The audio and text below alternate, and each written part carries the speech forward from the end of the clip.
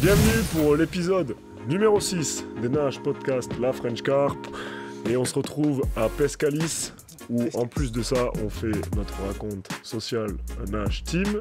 Et on en profite pour tourner les podcasts. Ouais, ouais, ouais, ils ont posé des cannes et tout, mais c'est vrai qu'avec Pat, on... ouais, ouais, ouais, à 6h51 tout pile, on a dit, oula, demain il y a école.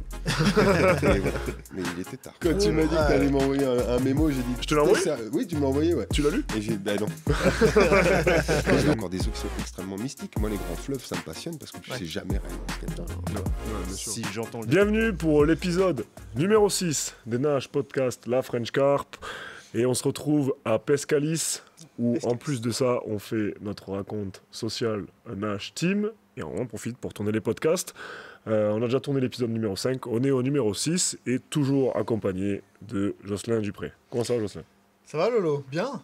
On a fait un bon exercice ce matin et puis bah là le sujet est tout aussi intéressant donc je pense qu'on va avoir plein de choses à dire. Très bon Et en sujet. plus on a des super invités pour l'occasion. Effectivement, euh, on a des invités qui ont roulé leur boss sur les eaux françaises, euh, même sur les eaux étrangères, et euh, qui vont pouvoir nous donner leur point de vue sur, sur le sujet qu'on va évoquer, on va vous le dire de suite. C'est l'incidence de la pression de pêche et le tourisme sur les eaux françaises. Donc c'est un sujet vraiment, je pense, qui s'adresse à beaucoup de gens, et notamment, il faut qu'on évoque pour les prochaines générations, parce que euh, c'est très un important sujet pour le aura futur. de plus en plus à mon avis d'importance. Ah, clairement. À mesure que, que la pression va augmenter en fait de, de pêche. Ouais. Et de plus en plus, parce qu'il y a de moins en moins d'eau, ou moins en moins de poissons, mais de plus en plus de pêcheurs. Donc Ouais. c'est un sujet très très important. Et comme invité, on a la chance d'accueillir Soel, Briche. Bonjour, monsieur. Comment Salut. vas-tu? Ah bah, euh, super. En PLS, mais super. je, je sens, on a, on a eu un prémisse ce matin en Ouais. RT, mais la nuit a été dure hier. C'est pas, oui, elle était Courte Courte. C'est ça. c'est- c'est- Ouais. Pas parce qu'on a pêché beaucoup de poissons, Non, Ouais, on a un peu discuté. On, a, Voilà. on s'est fait plaisir, euh, c'était les retrouvailles. Donc Ouais. c'était cool. C'était, c'était, c'était très cool. Content d'être avec nous super. Ouais, carrément, carrément. J'ai Merci passé un d'être super là. moment. euh, merci à vous de m'accueillir. Mm. J'ai passé un super moment hier. euh, je pense que je vais passer un super moment là, euh, même si effectivement je suis pas au top de ma forme. Oh non, mais non, bah, sais, Ouais mais au fil des discussions là, de la discussion va à mon glisser. avis tu vas... tu sais, on a eu notre petit Pat Zambo euh, qui était pas au top au top ce matin. Parce que vous, avez quand même un peu plus de récupération que. Disons que- nous Vous avez eu la matinée pour ré- récupérer là où lui il a Non, eu non, on a quelques posé les cannes. Ouais, ils ont Ah, posé ah, des ah, cannes et tout, mais c'est vrai qu'avec on- Pat, on on, ouais, ouais, ouais, à- à 6h51 tout pile, on a dit oula, demain il y a école. Et voilà. Mais il était tard. Ah bah oui, parce que l'école reprenait à 9h30. Voilà, Euh, on n'était pas prêts.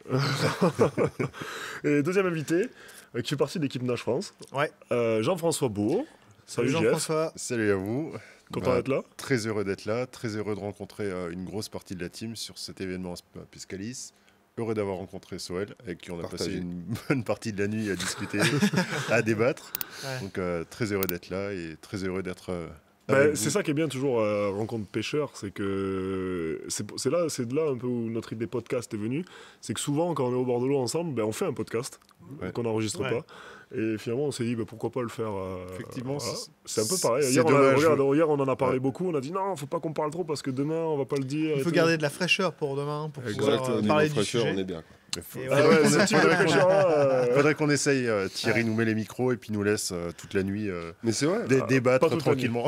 Non, oui, voilà, non, mais Ah, sinon, il va y avoir un assistant bip. euh, Ouais, ça de- va être. euh, long, quoi, ça va être compliqué. Et ce qui est assez sympa finalement avec nos podcasts, c'est qu'on se déplace avec nos micros, on envahit un espace et puis, euh, puis là on va à la rencontre de- des, des pêcheurs. Donc ça c'est cool et, et pour, pour aborder mieux nos sujets. Bah là, on a vu des super endroits. hein. On a Et- commandé par euh, Paris Carp Fishing, Ouais. qui était un, un- un lieu euh, où il y avait une grande salle, une grande villa avec plusieurs plans d'eau. Avec une vue euh, sur une grande baie Ah, vitrée, on voyait sur, sur des plans d'eau, c'est assez chouette. Après, on a fait Ictus Ruffo, qui est aussi. euh, voilà, c'est Ictus Joli cadre. hein, Voilà. Ouais, et là. Pescalis, c'est la première fois que je viens ici. Et, Pareillement. euh, Et euh, il y a un super musée euh, qui retranscrit un peu Il y a toutes les tout pêches. un parcours pédagogique là, euh, qui, avec aquarium, différents ateliers, etc., pour permettre à des jeunes ou des moins jeunes de se perfectionner, d'apprendre, de découvrir. Et ben, on remercie Pescalis hein, de nous Bah, accueillir clairement, c'est très pour qu'on puisse enregistrer. Puis en plus, on peut pêcher. Et en plus, on peut pêcher. Bon. Bon, On combine les deux. on combine les deux. Donc on a teasé tout ça, on va se pencher sur nos invités. Donc Soël, présente-toi, qui es-tu?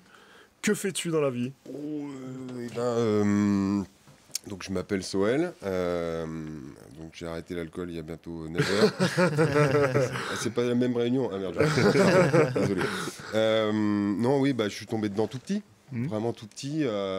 Mon, père m'a emmené à la pêche quand j'avais 5-6 ans et quand j'avais 6 ans, lui il pêchait un petit peu la carpe. Hmm. Et il m'a mis une canne à carpe en fait entre les mains. Et, et voilà, quand tu fais un mètre de haut et que tu prends un poisson de 5-6 kilos, bah, tu le vois comme, comme on verrait une 40 kilos, nous. Euh, Bien sûr. Donc euh, oui, ça m'a piqué euh, très profondément. Et pour la faire courte. Ton père, ton père pêchait? Ouais, mon, mon, père s'est remis à pêcher quand ma mère était enceinte. D'accord. Et, et, voilà, et donc il s'est remis un petit peu à la pêche, et principalement à la carpe. Et c'était le tout début des années 90. Moi, la première carpe que j'ai attrapée, c'était en 92. donc, il a connu en fait cet essor, en fait, enfin vraiment l'arrivée de la pêche de la carpe en France. Euh, et c'était une période passionnante. Enfin, moi, j'en ai des souvenirs de gamin, mais euh, je sais qu'aujourd'hui, je suis toujours en quête de revivre ces émotions. C'est aussi pour ça que je, fais un peu des tripes euh, un peu bizarres. Et surtout, c'est principalement pour ça, en fait, que j'aime bien cultiver la, non-recherche d'informations pour que je mm. puisse rêver reconnaître cette sensation que tu as eue quand tu étais plus Exactement, c'est ça. c'est ce qui m'a plu principalement. Je me retrouve plus trop dans ce qui se passe mm. à, l'heure actuelle. Euh, après, j'accepte hein, que les, les, choses évoluent, mais, euh, mais ouais, je suis toujours nostalgique en fait, de cette période. C'est, voilà. Donc voilà, et puis euh, donc, je suis tombé dedans tout petit. dès que j'ai eu le permis, bah, en gros, j'ai façonné ma vie autour de cette pêche. Parce que pour la faire courte, en gros, ma relation avec cette pêche a un peu flingué toute ma scolarité. A un peu flingué toutes mes relations sociales aussi. Donc euh, c'est pas la faute de la pêche, c'est ma relation. Après c'est le gros défaut quand même de la pêche de la carpe quand même, c'est que ça prend beaucoup de temps. Ça prend énormément de temps et ça flingue quand même beaucoup les relations. Alors là on fait, un social. Je, je crois qu'il a raison. En fait c'est pas tant, c'est pas, tant, pas dans la passion. Enfin c'est pas, pas la C'est notre relation qu'on a. C'est notre relation. C'est l'intensité que tu vas donner à ta passion. Si tu t'abandonnes dans ta passion, bah, comme tu l'as fait, bah, ta scolarité à l'empathie, tes amis, tu Moi, j'avais un poisson dans la tête. Hein, je veux te dire, euh, c'était beau me, parler de tout ce que tu voulais. Moi, je pensais pêche. Je me levais pêche, je me couchais pêche. Et quand j'étais gamin, je me souviens très bien que, bah, tu vois bien, on n'y allait pas souvent, quoi. Mm. Euh, c'était peut-être, euh, allez, pire du pire. Enfin, au mieux, c'était 5-6 week-ends en fait dans l'année. Et quand j'ai été un petit peu plus grand, une semaine de pêche en Grand Lac. Euh, je veux te dire, moi j'ai été hein. traumatisé en fait par le syndrome de c'est fini, il faut rentrer. Et, là, il va falloir compter les jours jusqu'à la prochaine fois. C'est aussi pour ça en fait que je suis un clochard maintenant et que je vis au bord de l'eau quasiment mmh. tout le temps. Parce que j'ai été traumatisé par ça et que je voulais plus jamais vivre ça. Moi, quand j'ai arrêté euh, ma scolarité, euh, je, suis allé bosser à l'usine pendant six mois histoire de bien savoir ce que je voulais pas. bien sûr. c'est un bon enseignement, tu me ah, clairement. Ça, ça marche. et derrière, je suis parti six mois au bord de l'eau et je pensais que ça allait me vacciner je pensais que j'allais reprendre des études derrière, que dalle. Arrivé à la fin des six mois, j'ai dit mm. non, mais en fait, je vais faire ça tout le temps. Et j'ai façonné ma vie autour de ça. C'est pour ça que je suis devenu saisonnier. Euh, c'est pour ça que j'ai commencé à bosser l'hiver euh, donc en montagne. Puis l'été, euh, donc sur la côte, parce que j'aime bien vivre sur des lieux de vacances. Et c'est un peu l'avantage que quand tu es saisonnier, c'est que tu as la chance de vivre sur des lieux de vacances là où il y a des gens qui, toute l'année, vont cotiser en fait pour y aller une semaine. Eh et, en plus, ils y vont même pas dans la bonne période parce que tout le monde y va en même temps. ils se marchent dessus les pauvres. Euh, donc voilà, donc c'était une qualité de vie euh, vraiment euh, que tu avais choisi, que, que j'avais choisi et en plus qui était, c'était cool à vivre. Vraiment. ouais, donc la pêche dans ta vie en fait, elle est centrale. Ouais. Et finalement, tu as, tout ton écosystème de vie ah, et il est construit autour de la pêche. Tout gravite autour. Et c'est pas toujours simple de vivre avec, mais je peux pas vivre sans. Donc c'est comme ça. Hmm. C'est bien, c'est bien ça le problème de la passion. C'est que euh, tu peux pas vivre sans, mais c'est difficile de vivre avec. tu l'as bien résumé, honnêtement, euh, c'était propre. on peut rien, on peut même pas te poser de questions parce que du coup voilà. Bon bah cool. Bah, je vais y aller alors. bah, vous avez peut-être ce point commun finalement. Bon, ah, c'est tous les passionnés qui ont ce point commun. Ouais, on, a beaucoup de choses en commun. Toi, Jeff, bah, c'est pareil. Si tu veux répondre aux mêmes questions. Bah, qui es-tu déjà? Jean-François Bourg. je viens de Moselle. Euh, ah, n'est parfait. Ouais, euh, c'est dur la Moselle. Désolé hein, pour tous ceux qui nous Moselle, écoutent. On voit pas le tous les jours, mais. Euh, Attends, parce que lui, c'est le pire. C'est les Moselle, mais euh, à côté de l'Alsace. Non, non, c'est Claude. Claude, ah oui, il, Claude, Claude, il est plus proche. Lui, il est encore plus proche de oui, la C'est Claude le pire. Ouais, Toi, t'es moins le pire. Donc, Moselle, tu disais. Ouais. Donc, oui, la, Moselle, effectivement, oui, on a le climat qui est un peu plus rude que dans le sud de la France. ça forge aussi le caractère. Euh, et puis bah, moi, c'est comme Soel, j'ai commencé très petit. J'ai eu la chance d'avoir un plan d'eau qui était à 500 mètres euh, de chez moi, dans les prés, un plan d'eau agricole euh, où il y avait quelques carpes. Mm. Et on avait quelques arbres en bordure, on grimpait dedans, on voyait ces carpes de 2, 3, 4 kilos qui nageaient en surface. Et c'était le Graal pour nous Ouais. d'arriver à Mm. en attraper une. On a passé, voilà, on a passé euh, nos après-midi euh, à pêcher tous les mercredis, les, les samedis, les dimanches euh, à pêcher ces poissons. Et donc euh, c'est là que la passion a commencé. J'ai eu la chance d'avoir euh, le cousin à mon père, puisque mon père est pêcheur, mon frère est pêcheur, on est une famille de pêcheurs. Mm.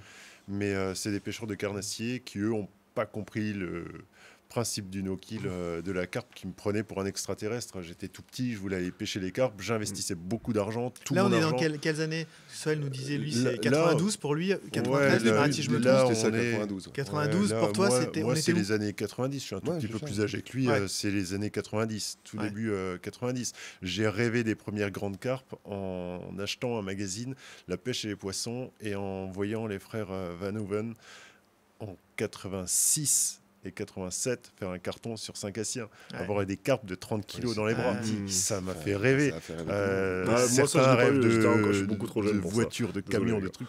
Euh, moi, j'avais un poster euh, de Léon dans ma Ouais. chambre pendant Oui, Très tu, longtemps. presque tu, tu vivais pêche, quoi. Tu vois, voilà, pendant presque toute mon adolescence, j'avais euh, une photo de Léon avec bulldozer dans ma Ouais. chambre. Ah, c'est- Ouais, c'est Ça, c'est- c'est c'est T'es- un Ah extraterrestre par rapport à tes potes. Mm. ils bien sûr. Ah bah, comprennent un truc qui Eh est, oui. Bah, c'est- pas fini. Moi, les potes, parce que je peux en parler, c'est un peu plus récent, parce que c'est, je suis quand même plus jeune que vous. Et moi, c'était quand tu parlais de ça, quand dans l'adolescence, comme tu dis, c'était un extraterrestre. Les gars, ils étaient plus concentrés à sortir, Ah ouais, euh, aller voir des meufs, et, Ouais, et puis, euh, euh, faire plaisir, etc. Et nous, on pensait à quoi? Bah, Faire des poissons et euh, aller pêcher quand on avait du temps libre, quoi, tu vois. euh, et euh, et c'est, l'extraterrestre, exactement, c'est ce que tu dis. Après, j'ai eu beaucoup de chance. euh, j'ai mon ami d'enfance, son père avait un petit étang Mm. d'un hectare à peu près, où ils avaient une caravane aménagée, et ça nous a permis de faire des nuits très tôt, très jeunes. Donc, euh, à l'âge de 12-13 ans, on pêchait déjà la carpe de nuit sur ce plan d'eau. Mm. Et j'ai le cousin de mon père qui, lui, m'a emmené sur les grands lacs. Et j'ai fait ma première session à 14 ans, donc en 93, sur un grand lac. Et depuis là, la piqûre cool. a été euh, Ouais, et là, c'est Ouais. d'une difficile. de violence absolue parce que, effectivement, j'ai C'était jamais lequel, quitté- le Grand Lac? Euh, C'était sur le stock. C'était sur le stock. Ouais, Ok. C'était sur le stock, qui est devenu, euh, par la force des choses, de mon lac de cœur, puisque c'est euh, c'est un lac qui était à 20 minutes de chez moi. Et voilà, c'est. C'est ton local lake, quoi. C'est là où Ouais, tu... J'y ai même construit ma maison. Voilà, dans ton petit voilà. ponton. euh, C'est mon lac de cœur. ouais. Pour te dire, il a presque la maison de rêve que tout carpiste voudrait. Quoi. Ah, clairement. Euh, le ponton qui donne sur un lac. la maison déjà est 600. très belle. Puis alors en plus euh, la baie vitrée, euh, quand tu bois un café. euh, On avait même évoqué de faire un podcast là-bas. Eh ouais. Ouais, Ah, c'est- vous, c'est aller dans le nord, ça vous refroidit. Ah, dans le c'est nord-est, c'est un peu On ira loin. au mois de juillet quand on Ouais, pourra ouais. mettre juste l'ensuite. Ouais. Oui, on pourra peut-être Juillet, mettre normalement, du, du 12 au 16, euh, il fait bon. Mais ouais, c'est vrai qu'il a une très belle grande baie vitrée là et on voit le, on voit le stock. Ouais, c'est c'est superbe. Donc voilà, c'est comme ça que j'ai commencé. Euh, j'ai pêché, bah, comme Soel, t'attends tes vacances, tu vas faire 3-4 jours, une semaine. Une semaine, c'est déjà le Graal. Euh, et puis après, t'attends. Puis c'est long, et puis t'en fais euh, quelques-unes euh, des sessions par an. Euh, t'as une frustration parce que t'as envie d'y retourner. T'aimes ce mode de vie et finalement, bah, après, euh, dès qu'on a eu le permis avec euh, mon pote, on est parti au lac du Der. Bah, bien évidemment, on a pris des tôles puisqu'à l'époque, euh, Mm. Il faut le rappeler aussi, hein, euh, ça coûtait très très cher tout le Ouais, matériel. enfin, c'est clair. Puis tu le trouvais pas comme ça. quoi. Non, difficile de. En France, Ouais. t'avais quoi? Il y 17. avait Bunel, Il y avait à Bunel. Paris, ouais. et puis c'est tout en Et fait. puis au tout début, ouais, Moi, c'était mon- Bunel. mon- le, le matériel que mon père m'avait acheté très tôt, donc euh, l'année d'après, là, quand j'ai eu 7 ans, Ouais. euh, il l'avait ramené en fait euh, de Hollande. Ouais. Il s'était fait un En fait, on a acheté, Oder tu sais quoi? avec, On a acheté, ça si je vais te donner les noms, ça va te rappeler. On a acheté tout euh, sur Jensen, à Ouais, sûr. Watersport. Carrément. Et Ouais. finalement, c'est là c'était d'où matériel. après, il y avait- tu te souviens, on faisait avait les- les T'as fait ça, toi Des trips Et- en camion pour aller chercher du matos Ah bah, Parce qu'on moi, avait des prix mais avantageux. mon père le faisait en fait Ouais, avec, voilà, euh, voilà. avec Ouais. ses potes. Ouais. Et, euh, Parce qu'il y avait rien, enfin, tout mon premier pas euh, matos, en fait, euh, Ouais. mes deux cannes d'âme, mes optoniques super compacts, tout ça, ça venait de là-bas. Bah oui, bien Tu sûr. trouvais pas en France. Ou Ah quand tu trouvais en France, c'était extrêmement C'était cher. trop cher. Et c'était dans une petite boutique spécialisée. Et puis, il fallait faire des bornes pour y aller. Exactement. Donc, bon. C'était Ah, pas c'est- comme mais- maintenant. C'est. Ah bah, marrant- de voir ça parce que euh, pour montrer Dans la- n'importe quel magasin maintenant, tu trouves tout ton Voilà. matos. euh, tu vas sur le net, tu trouves ton matos. À l'époque, bah, il fallait Ouais. faire vraiment des efforts pour trouver Ah son bah matos. ouais, il fallait Nous, on partait, Là, ça, ça ça faisait un pré-tri, quoi, déjà. Ah ouais, c'est clair. On partait à Genk, justement, chez Ouais. Watersport Central. Et là, tu avais déjà les grands spécialistes de l'époque qui, Mm. euh, qui, eux, mettaient euh, une somme incroyable. C'était Pour nous, c'était démesuré. Euh, Aller acheter 100 kilos de bouillettes, Ouais, ça paraissait fou. Les gars, c'est À des extraterrestres. Clair. Toi, tu roulais 5 kilos dans l'après-midi, t'étais le roi du monde. Ouais. C'est vrai. Euh, ta mère, elle te tuait parce que Ah tu bah, mettais du. Monster Crab. Bah oui. Tu pourrissais toute la maison clair. pendant deux jours, mais c'était un truc. Ouais, pour moi, c'était fabuleux. Ça, c'était les vraies années. Ah ouais, c'est le début du le début de tout. Mm. Tu sais Ouais, quoi? T'allais voir les pêcheurs, partager un moment avec eux, ils te donnaient des Ah infos, bah oui. t'emmenais ton album photo Ouais. au bord Mais du oui, exact. C'est le truc, mais Ouais. aujourd'hui, on te Tu le l'as dit. fait aussi Ouais. Aujourd'hui, on bah, te le dit, Ah, c'est- truc, c'était narcissique euh, incroyable. Ouais. Tu te dis, maintenant, on a le smartphone, ça même. C'est un peu Mais- pareil, ouais. C'est un Mais, album euh, à photo on numérique. tu on a amenait l'album photo. Mais là, tu te dis, ouais, c'était un truc. euh, Il y avait tout à découvrir. il y avait un partage. Et le partage était réel parce qu'on était avait un une poignée. on était une poignée. euh, d'ailleurs, c'est intéressant parce qu'on on parlait de la pression de pêche et notamment éventuellement l'influence des étrangers. Mm. Euh, eux, ils étaient graves en avance. Ah ouais, eux, ils partageaient énormément. Mais Ils sont toujours en avance. Oui, bien sûr. Ils sont toujours ils collectaient tout. Moi, Ouais. justement, tu vois, pour revenir vite fait sur l'ép- l'époque de, de mon père, quand il partait en, en Hollande euh, chez son pote Bert là, pour, euh, pour prendre du matos, le fameux euh, Bert, euh, il avait mais, des encyclopédies, tu vois, en mode papier, avec des plans papier Des dessinés lacs, à la main, ça. de quasiment tous les lacs de France. Ouais. Il y, a il y a une base de loisirs toute pourrie à Étampes, elle est toute Ouais. petite, tu vois. Ouais. Il avait le plan du machin, Ouais. avec les Ouais. petites croix, genre ce poste-là, ça marche bien au printemps, Ouais. celui-là Ouais. à l'automne. Incroyable. Et là, on est il y a Ouais. 30 ans. Mais 25 c'était il y a ans. 30 Ouais, et c'était il y a une trentaine d'années, ouais. Mais nous, on était, on vraiment en retard. et on l'est toujours. Maintenant, Ouais, on s'en aperçoit que même les Français, les étrangers, tout ce qui est hollandais, allemand, euh, même Benelux, enfin Benelux, quoi, ils Ouais, sont en avance sur nous. Ils, ont sûr, plus ouais. d'infos, ils connaissent plus les lacs que nous. on Bah, les en, connaît. en Ouais. même temps, euh, ils ont euh, des plusieurs générations. Oui, ils ont quand même une deux, nous, générations, je dirais. Au moins deux, Ouais. sur, sur le Benelux, au moins deux. Bon, donc, ouais. du coup, forcément, euh, ça En joue, même quoi. temps, pour eux, c'est l'expédition. Ils allaient dans un pays étranger. Ouais. Donc, tu as une solidarité. Ouais, il y a une solidarité qui se crée. demain, on part en Espagne. Euh, si on rencontre des Français, ton pote qui a été va te lâcher tes, les sûr. infos, il Bah, va tous, te on le fait donner. déjà plus ou moins. Voilà, hein. on tous les, fait- les peu de Français qui partent en Espagne, on se connaît un peu, Ouais. tu vois. Tu- et tu on partages les infos, trucs. ouais, sur des expéditions comme ça, tu- entre Français, on Ouais, s'aide. tu t'aides. ouais. Mais c'est vrai que sur nos plans d'eau, on a gardé différent. un peu notre petit truc euh, chacun euh, sous le coude sans le partager. Les, ent- les étrangers, eux, partageaient absolument tout. Mm, mm. Parce que moi, je suis tout proche de la frontière allemande, donc on a eu beaucoup de, de pêcheurs euh, allemands, hollandais, belges. Ouais. On a des grosses pressions de pêche euh, dues à ces pêcheurs-là étrangers. Et effectivement, eux connaissent nos cheptels, mais ouais, beaucoup mieux que nous. bien sûr. Ouais. Après, ils partagent, je rebondis là-dessus, mais ils, partagent des informations d'un pays étranger pour eux. Mais est-ce qu'ils partagent pour autant euh, ça? Bah, J'en suis beaucoup Ah moins non, sûr. non, chez eux, Les informations des eaux ouais. locales par chez eux, Ouais. c'est un peu différent. Non, non, ils fonctionnent de la même manière Ouais, que nous. hein. Ils bien sûr. gardent leurs eaux locales. Ouais. La preuve, tu as des infos sur euh, les plans d'eau allemands, les plans Non, d'eau. Très peu. On n'en a pas. Très peu. Voilà, parce que Déjà, même ça- quand on en demande. Et même quand euh, on en c'est demande, pas- c'est très compliqué. c'est- C'est un autre mode de, de Ouais. gestion aussi. Ouais. Euh, le- Mais ça, on va en parler plus Ouais. tard. On va, pas On en parler plus tard. Parce que on, c'est On comme, continue comme, Ouais, ouais, comme on- avant, on- on, on on, doucement, on glisse à chaque fois. Et on, En on fait, euh, on parlait là de. euh, vous vous présentiez, vous nous indiquiez un petit peu euh, le fait que vous aviez cette, ce désir d'aller au bord de l'eau, en fait, et que Ouais. vous comptiez vos jours avant Oui, de repartir au bord de l'eau.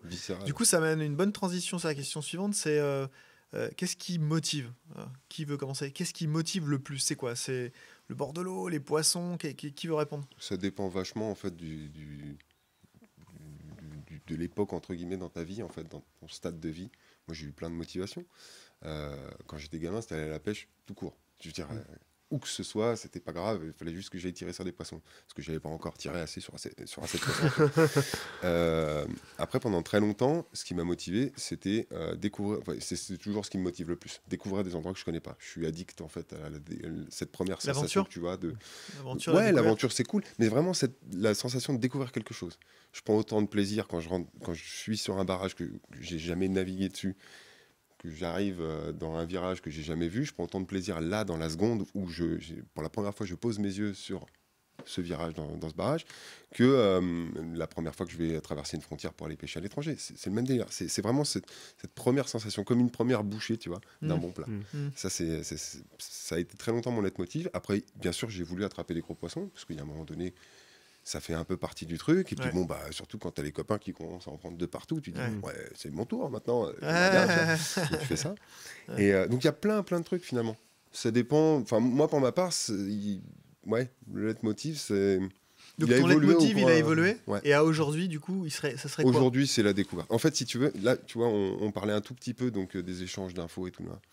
Euh, c'est un truc que, j'ai adoré en fait dans les années 90 quand j'étais gamin, écouter les anciens parler. Parce qu'en plus, on cachait rien entre guillemets. Il y avait tellement de choses à découvrir qu'on partageait. Ouais. Aujourd'hui, je fais tout l'inverse. Parce que y- on a tellement d'informations que même si tu les cherches pas, elles te tombent dessus. en plus. Ouais, ouais, bien sûr. Euh, moi, perso, ça me flingue mes rêves. J'arrive plus à rêver en fait. Quand je me pointe en fait sur une eau et que je sais plus ou moins tout ce qui nage dedans, le plat il est fade, il manque du sel. Tu vois. Ouais. Mm. Euh, donc du coup j'essaie de cultiver ça. Donc je l'ai fait pendant très longtemps en France, donc sans prendre d'infos. Mhm. Ça me permettait d'avoir cette impression que je suis le premier à pêcher, même si c'était pas le cas. Mhm. Euh, et maintenant euh, je le fais à l'étranger. Euh, Est-ce que... ça veut dire que tu. c'est trop... Est-ce qu'aujourd'hui en France, c'est plus possible pour toi? C'est pas que c'est plus possible parce que tu peux encore faire du pioneering dans une toute petite rivière et, euh, et attraper un spécimen de la rivière qui fera peut-être que 4 kilos parce que Ouais. mais est-ce que tu le fais Même si, Euh, conceptuellement parlant, j'entends Si, que tu dis si, ouais, je- on peut le faire, mais. je le fais, je fais le fais un petit peu aussi. Je pêche encore un petit peu en France. A, euh, on en parlait hier soir. Il y a Mm. encore des eaux qui sont extrêmement mystiques. Moi, les grands fleuves, ça me passionne parce que tu Ouais. sais jamais réellement ce qu'il y a dedans. Non. tu Non. vois. Ouais. Donc, euh, surtout quand tu observes des poissons de, de fou et que tu n'attrapes Ouais. jamais. Tu vois. Enfin, Ouais, bon, ça, on en a parlé longtemps hier soir. Effectivement, c'était quelque chose qui était. Le fleuve, c'est encore le seul, ou les grandes rivières, c'est encore le seul truc où on peut trouver des poissons Ouais. qui n'ont jamais été piqués. Les Et, canaux euh, aussi. ouais, le canot canot. aussi, Ouais, les Canaux canaux aussi, carrément. Et euh, après, il y a- il y, a un- il y a un truc qui, je trouve qui est passionnant euh, chez nous, et encore plus, bon, c'est malheureux hein, parce que c'est à cause du global warming. Mm. mais euh, grosso modo, les, euh, tu peux avoir pêché une flotte longtemps, avoir plus ou moins mm, pioché un petit peu dans le cheptel, avoir découvert, enfin bref, avoir pris pas mal de poissons, penser connaître un petit peu le lac. Tu reviens cinq ans après, c'est plus le même lac. Ouais. C'est un truc de fou. Ouais. C'est- Ouais, ouais. Ça change à une vitesse dingue. Tu vois. Bien sûr. Ouais. Mais, euh, mais voilà, mais moi ce qui me pousse maintenant à aller, aller à l'étranger au moins une fois par an, euh, c'est pour vraiment avoir ce, ce côté de découverte pure et dure, de rien savoir sur le truc. Et euh, cette sensation, encore une fois, c'est parce que je suis nostalgique euh, des Ouais, années c'est ça. 90. Ouais, Mais ouais. tu te pointes, tu sais pas où t'es. Tu cherches, tu cherches, tu cherches. Un jour, tu vois une trace de carpe. Déjà, waouh, t'es- tu vois, c'est un peu comme un trappeur qui piste un animal. tu Mm. Bon, t'as trouvé une trace. Arrive le jour où tu as entendu un marsouinage ou un saut. Ah, Ouais. là, le palpitant, il est tu. Ouais. Et arrive le jour où t'as la touche. Ouais. T'as Ouais. toute la construction avant, avant d'avoir la touche. Est-ce qui que- est- il a une saveur, ce poisson. C'est sûr. est-ce que tu as ce sentiment de découverte Il me parle, ce que tu me dis là, ça me parle beaucoup. Est-ce que tu n'as pas peur Parce que c'est difficile à créer, en Ouais. fait, ça. Ouais. Enfin, là, tu parles de, de l'enfant, du gamin que tu étais, Ouais. qui écarquillait les yeux et de cette sensation. Mhm. De recréer cette sensation, là, c'est vraiment hyper challengeant, je pense, dans, dans le domaine du, pour faire vivre une passion. Est-ce que tu penses qu'il y a assez de terrain vierge pour ça? Et est-ce que tu n'as pas peur que ça s'éteigne Si alors, tu trouves plus, en fait. Si tu n'arrives plus à pour trouver. notre génération, je pense que quand on sera vieux, il y aura encore des trucs à découvrir parce que l'Europe, en fait, c'est absolument pas poncé réellement. Mm. Tu vois, Euh, effectivement, la France attire énormément l'attention parce que Ouais. depuis tout le temps, on a, on a des cheptels, enfin, on a un réseau hydro, euh, hydrographique graphique qui est est énorme. On a des Ouais. cheptels de dingue, même Ouais. s'ils sont en train de dépérir, il faut le dire. Ouais. Euh, mais on a des cheptels de dingue. Et, euh, et voilà. Euh, Il y a euh, 15 ans, l'Italie a été mise un peu en lumière. Les Italiens ont été très malins. Ouais. Quand ils ont vu qu'il commençait à y avoir pas mal de monde qui venait Ouais. et qui faisait un peu n'importe quoi chez eux, Mhm. ils ont Ils appliqué des législations ouais, bien particulières Bien- bien pour que ça ouais. filtre bien. tu Ouais, vois. ouais, ouais, Les clairement. Espagnols se sont un petit peu plus fait avoir. Ça fait une dizaine d'années que c'est vraiment mis en avant l'Espagne. Ouais, ouais. Il y a de plus en plus de monde qui va là-bas. Bon, ça fait le même phénomène qu'en France dans les années 90, c'est-à-dire qu'il y a deux, trois eaux en fait qui sont intéressants, Mm. qui sont médiatisées et donc du coup tout le monde va va là-bas parce que beaucoup de gens manquent d'inspiration. Euh, donc il y a plein d'autres trucs à découvrir, rien que pour ces pays-là. Après, certes, il y a des pays où il y a déjà beaucoup de pêcheurs de carpe, genre l'Allemagne, des petits pays comme la, la Belgique ou les Pays-Bas. Mais dès que tu attaques un petit peu les pays de l'Est, pourtant c'est le berceau hein, Mm. de la carpe. euh, pour Mais quand même, euh, tout ce qui est Roumanie et tout, il y a quand même du pêcheur. hein. Mais bien sûr, bien sûr. Parce Nous, on a pris une claque il y a 5-6 ans Ouais. quand on s'est barré là-bas en pensant qu'on allait vraiment être les tout premiers à mettre des hameçons euh, Mm. pour pêcher les carpes. Ah oui, on a pris une grande baffe. Ah oui, Ouais. il y avait déjà des retards. Il y avait tout, sauf des tapis de réception. Mais il y avait tout. Il y avait tout, Il y ouais. avait tout, Ouais. tout, tout, tout, tout. Donc, voilà, toi, donc, pour toi, il y aura, il y a encore euh, à l'échelle de ta vie, tu penses qu'il y aura Je pense. Ouais. Ah, C'est bien, c'est rassurant. Moi, non, mais c'est vrai, c'est rassurant. Je pense honnêtement qu'il y aura Faut, assez faut de pousser, pousser les, Mais il euh, faut les pousser par contre, c'est-à-dire qu'il faut aller plus loin. Ouais, je Ouais. pense. Mais souvent, on le dit qu'il faudrait plus d'une vie pour, euh, pour accomplir ce qu'on voudrait faire Parce en que tant que là, de carpe. On parle vite fait de l'Europe. Mais bon, Ouais, euh, l'Afrique ouais. du Nord, c'est dingue. Et quand tu prends les États-Unis, c'est un truc de ouf. Canada, t'as Canada, Canada. euh, t'as même le Japon, on parlait tout à l'heure, Ouais. euh, t'as des pays partout, Afrique Ouais. du Sud, il y a des Ouais, enfin, il y en a quand même beaucoup. Mhm. Beaucoup un peu partout. Quoi. Donc oui, il y a beaucoup de choses à faire. Alors c'est sûr, on n'a pas tous le budget d'aller aux États-Unis, faire euh, des trucs C'est comme ça. quoi. compliqué. ouais. Après, bon, bah voilà, euh, c'est- ça laisse une part de rêve. Ouais. C'est ça. On peut quand même c'est essayer. C'est une alternative. Et toi, Jeff, Jeff, qu'est-ce qui te motive encore Qu'est-ce qui te motive? Ce Encore, qui- est-ce que ce c'est qui m'a motivé motivé, ce qui m'a motivé, c'est la part de rêve de toucher le Graal. Ça a été une grosse motivation. Donc le Graal, c'est le gros fiche C'est quoi le Graal? Ou le gros fiche ou le très beau fiche. Après, gros fiche pour moi, ça veut pas dire grand chose. Une grande carpe, vieille carpe, c'est pour moi un trophée. Elle peut en faire que 20 kilos. Euh, Mm. Une grosse carpe, c'est une carpe pour moi de plus de 30 kilos. Puis C'est une après, grosse ça- carpe. t'as t'as des lieux euh, particuliers, par exemple. T'as des lieux où t'as un poisson de 15, il te fera autant fantasmer, il te, Ah il te ouais, comblera plus qu'un poisson a de son 35, tu spécimen, vois. parce qu'il a un écaillage, parce que tu as même un souvenir euh, d'un combat. Euh, de difficulté, tu as le vent, tu as, ce poisson, tu te dis tu vas le perdre, tu flippes sur un poisson comme si c'était le poisson de ta vie, Mm. Et lui il va te laisser un souvenir indélébile, qu'il soit finalement grand ce poisson ou petit, euh, ça change plus grand chose. Donc, pour moi au départ c'était le Graal, c'était une part de gros poisson et puis un poisson un peu de rêve, celui que tu voyais dans les magazines. Pour moi, c'était ça. C'était voir ce poisson que tu voyais dans les magazines à l'époque, une, Avec toi. une carpe Mm. de 25 kilos. Mm. Faut pas l'oublier. Il y avait quelques eaux en France qui Ouais. pouvaient produire ces poissons-là. Clairement. Il y avait les eaux courantes, mais elles étaient tellement peu pêchées que Ouais, finalement euh, ces Ouais, poissons sont passés au cette travers. de mystique qui était là, dans ces eaux-là. Et puis après, on avait quoi? Euh, Il y avait le Der, Orient, Cassien, Cassien. Il y avait Madine qui commençait à se faire Ouais. connaître. c'est vrai.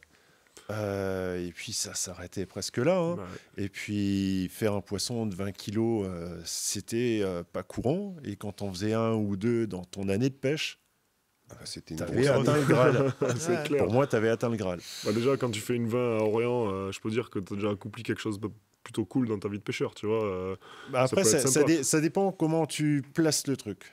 Ton curseur, c'est déjà faire Mmh. un poisson. à Voilà, c'est ça, si, ouais, si tu Après, c'est très personnel, hein, euh, ce genre de relation. Il y a un mec qui va faire une 25 qui sera pas content, euh, l'autre il en fera une 10, il sera très content. Comme Soel, il fera un poisson de 3 sur une rivière complètement vierge, il sera autant content que s'il avait fait un gros poisson, tu vois. c'est. Très personnel en fait, je pense. Comme, euh, Et du coup, qu'est-ce qui te motive maintenant? Ce qui me motive maintenant, euh, on se rejoint beaucoup avec Soel. En fait, euh, j'ai besoin de cette part de rêve et finalement, moins j'en sais, mieux je me porte. Mm. Et je suis pas un pêcheur d'infos. Je, je- ça me rend même un peu sauvage par rapport aux autres parce que je m'en fous un peu. Hmm. Euh, je prends pas d'infos. Je n'ai pas besoin de connaître le prénom de la carpe euh, du lac. Ouais. J'aime cette part de rêve qui est d'attraper un poisson. Finalement, qu'il soit connu ou pas, je m'en fous. Moi, c'est ce que j'ai ressenti en l'attrapant. Donc finalement, si je connais pas le cheptel, si je connais pas les poissons, si voilà, on savait tous avant les grands poissons, euh, ils portaient un nom sur Cassien. Mm. J'y suis jamais allé. Hmm. C'était le Graal Saint-Cassien. J'y suis jamais allé. J'ai jamais mis les pieds à Saint-Cassien, sauf quand la pêche de nuit s'est arrêtée. Parce que j'avais pas accepté le fait d'aller camper derrière un pêcheur en attendant Ah oui, qu'il parte. Ça a enlevé une part de rêve. Tu as une frustration. Tu es derrière un gars, t'attends, tu es là, tu te dis, Putain, dans deux jours il part. Dans un jour il part. Et là, tu, je pêche quoi. mais non, mais tu peux pas. J'ai ouais, vécu ça. ça au DER. J'ai été au DER en 97, en 98. Je suis retourné au DER cette année. Ouais. Tu te dis, euh, c'est à deux heures de chez moi. Jeff, t'es passé à côté de quelque chose Euh, Non, j'avais pas envie d'aller faire la queue euh, derrière les bons postes. Donc, j'avais pas envie de ça. Ou alors, tu pars, tu prends ton bateau. C'est ça mon évolution Je pense qu'on en parlera après, mais Mm. mon évolution, elle a été là. Je suis parti avec mon bateau. Je voulais pas être là où étaient les autres. J'ai Mm. besoin de tranquillité. Je, peux- je déteste entendre le détecteur du voisin. Ouais, bien sûr. Si j'entends le détecteur du voisin, si je vois le voisin, C'est que t'es trop près, toi. ouais, c'est pas après. Et Trop puis là, tu sais quoi, pour moi, Ouais. c'est le moment de prendre mes affaires et de partir. Je Ouais, prends pas de plaisir à ça. Mm. Et- Donc du coup, aujourd'hui, ce qui te motive, c'est finalement aussi le- l'aventure, quoi. Enfin, la, la découverte. t'es obligé de cette Parce que tu t'es Ouais, pas t'es- attaché à avoir T'es des t'es infos. obligé de prendre cette part d'aventure parce que si tu restes chez toi, finalement, tu t'enterres. Donc, euh, j'ai pêché un peu partout en France. J'ai pêché aussi à l'étranger. J'ai pêché, euh, bah, cette année, on a pêché ensemble euh, l'Espagne. J'avais déjà pêché l'Espagne il y a 10 ans. Euh, c'est une part de rêve, mais finalement, qui est vite brisée, puisque quand on était euh, sur le lac, euh, j'ai réalisé qu'il y avait une très grande pression de pêche quand Mm. même sur Ouais. ces lacs. Et effectivement, comme le disait Soel, c'est le lac aujourd'hui médiatisé qui va attirer. Voilà, c'était marrant parce que c'était par secteur quand même. Tu as C'était- vu, tu as c'était vu que par les secteurs secteur, ouais. accessibles du bord, évidemment, là, pour, pour blindé. ceux qui nous Oui. écoutent, on parle d'Oriana Oriana, effectivement. Et les secteurs, en Espagne. quand on est parti de chez Samir, eh ben, sur des kilomètres, des kilomètres, on a, désertique. on a vu personne. hein. Oui. Et c'est ça qui était Comme incroyable. chez nous dans les années 90. C'est incroyable. C'est là où tu avais, la, vo- tranquille. Ouais, là où t'avais la voiture euh, derrière Parce toi. que tu te euh, souviens-toi du bas du, bas, du, bas ouais. du barrage jusque quasiment le pas le deuxième pont, mais quand on arrive sur la partie supérieure, ouais, il n'y avait personne. Ouais. T'avais un pêcheur une fois, et puis après c'était nada, néant. Ça c'était cool, tu vois. Ouais. Par contre, dès que tu arrives en haut, effectivement, t'avais un pêcheur tous les 200 mètres. Bah là, Ouais. la part de rêve, effectivement, Ouais, c'est ouais, c'est difficile de la trouver. Là- là, c'est euh, juste sur une comme ça, t'es un peu blasé. Ouais, ça toute ouais, carte. là, t'es blasé. Ouais, Et alors, cette part de rêve, ça me permet une petite transition euh, sur la question suivante, euh, même si on connaît un peu déjà les réponses, mais pour ceux qui nous écoutent, ils vont, ils vont, les, ils vont pouvoir écouter tout ça. ouais. Et voilà, ils auront le cœur net. Euh, privé, public, qui un sentiment, quelque chose à partager, qui veut prendre la parole? Moi, je dénigre pas le, le privé, j'y trouve pas mon compte, ça m'intéresse pas. J'ai Qu'est-ce qui t'intéresse pas? Euh, D'être à un endroit, d'être obligé d'accepter un règlement. Euh, tu dois pêcher à cel- à cet, cet endroit-là précis. Mhm. Euh, tu peux pas te déplacer, même si certains privés le permettent, mais tu as un voisin euh, tous les 100 mètres ou tous les 150 mètres. Tu es bloqué dans ta pêche, même si le privé est très grand euh, et que tu peux prendre ton bateau, tu es quand même très très limité.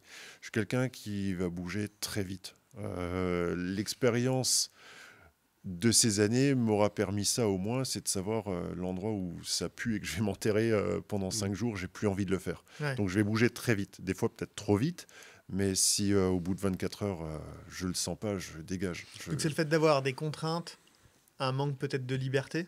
Bah, à- pour moi, la liberté, c'est ça, le pire. Ouais, c'est ce que j'attendais un peu Ouais. en fait, c'est ce que j'essayais de vous faire dire. C'est cette donc, perte de liberté. Et du coup, mais du coup, s'il existait un privé, je vais te provoquer un peu, s'il existait un privé euh, où tu es libre, tu serais prêt à payer alors? Là, je serais prêt à payer, puisque euh, je suis prêt à payer pour euh, traverser la France, pour aller euh, au Maroc, pour aller en Espagne, pour aller dans n'importe quel finalement, pays. c'est pas une question d'argent le privé, c'est plus le fait que pour Non, toi, ça te pose problème ouais. parce que tu te retrouves enfermé dans un- une façon de pêcher. Quoi. J'ai été, j'ai été au DER.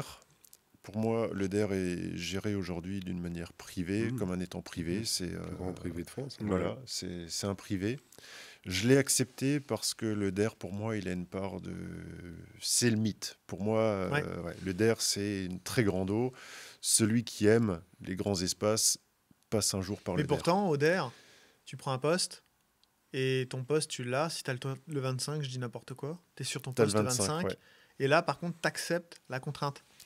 T'acceptes parce que ton arène devant toi est énorme. Elle est plus grande. Elle est plus Ton grande. horizon, c'est de l'eau et ça, Voilà. ça, te, Ça, ça, ça, c'est- ça ça, compte ça me- ta- ton ça, ça sentiment me de liberté, c'est ça? Ouais, mais après, t'as Et- as quand même un sentiment. Le DER, on, on parle que c'est privé, mais c'est que la pêche de nuit qui est privée. Parce que t'as la pêche de jour qui est pas privée. Ouais, mais la pêche de jour, ils te contraignent tellement. euh, oui, je- euh, mais à- tu à peux quand même pêcher. tu- Parce qu'il y en a qui tu- l'ont fait, tu là, qui ont fait des beaux tu résultats, pêcher, tu oui. vois. Tu Il y en a qui ont quand même fait des très belles pêches en pêchant de jour et en étant libre. Oui. Tu vois, c'est ça aussi le DER, c'est pas tellement un privé, euh, c'est juste en fait la pêche de nuit qui est privée. Ouais, mais euh, voilà, on est tous les mêmes. Bah oui, c'est la pêche de la carpe, c'est la nuit, on le sait bien. On en parlait hier avec Sol.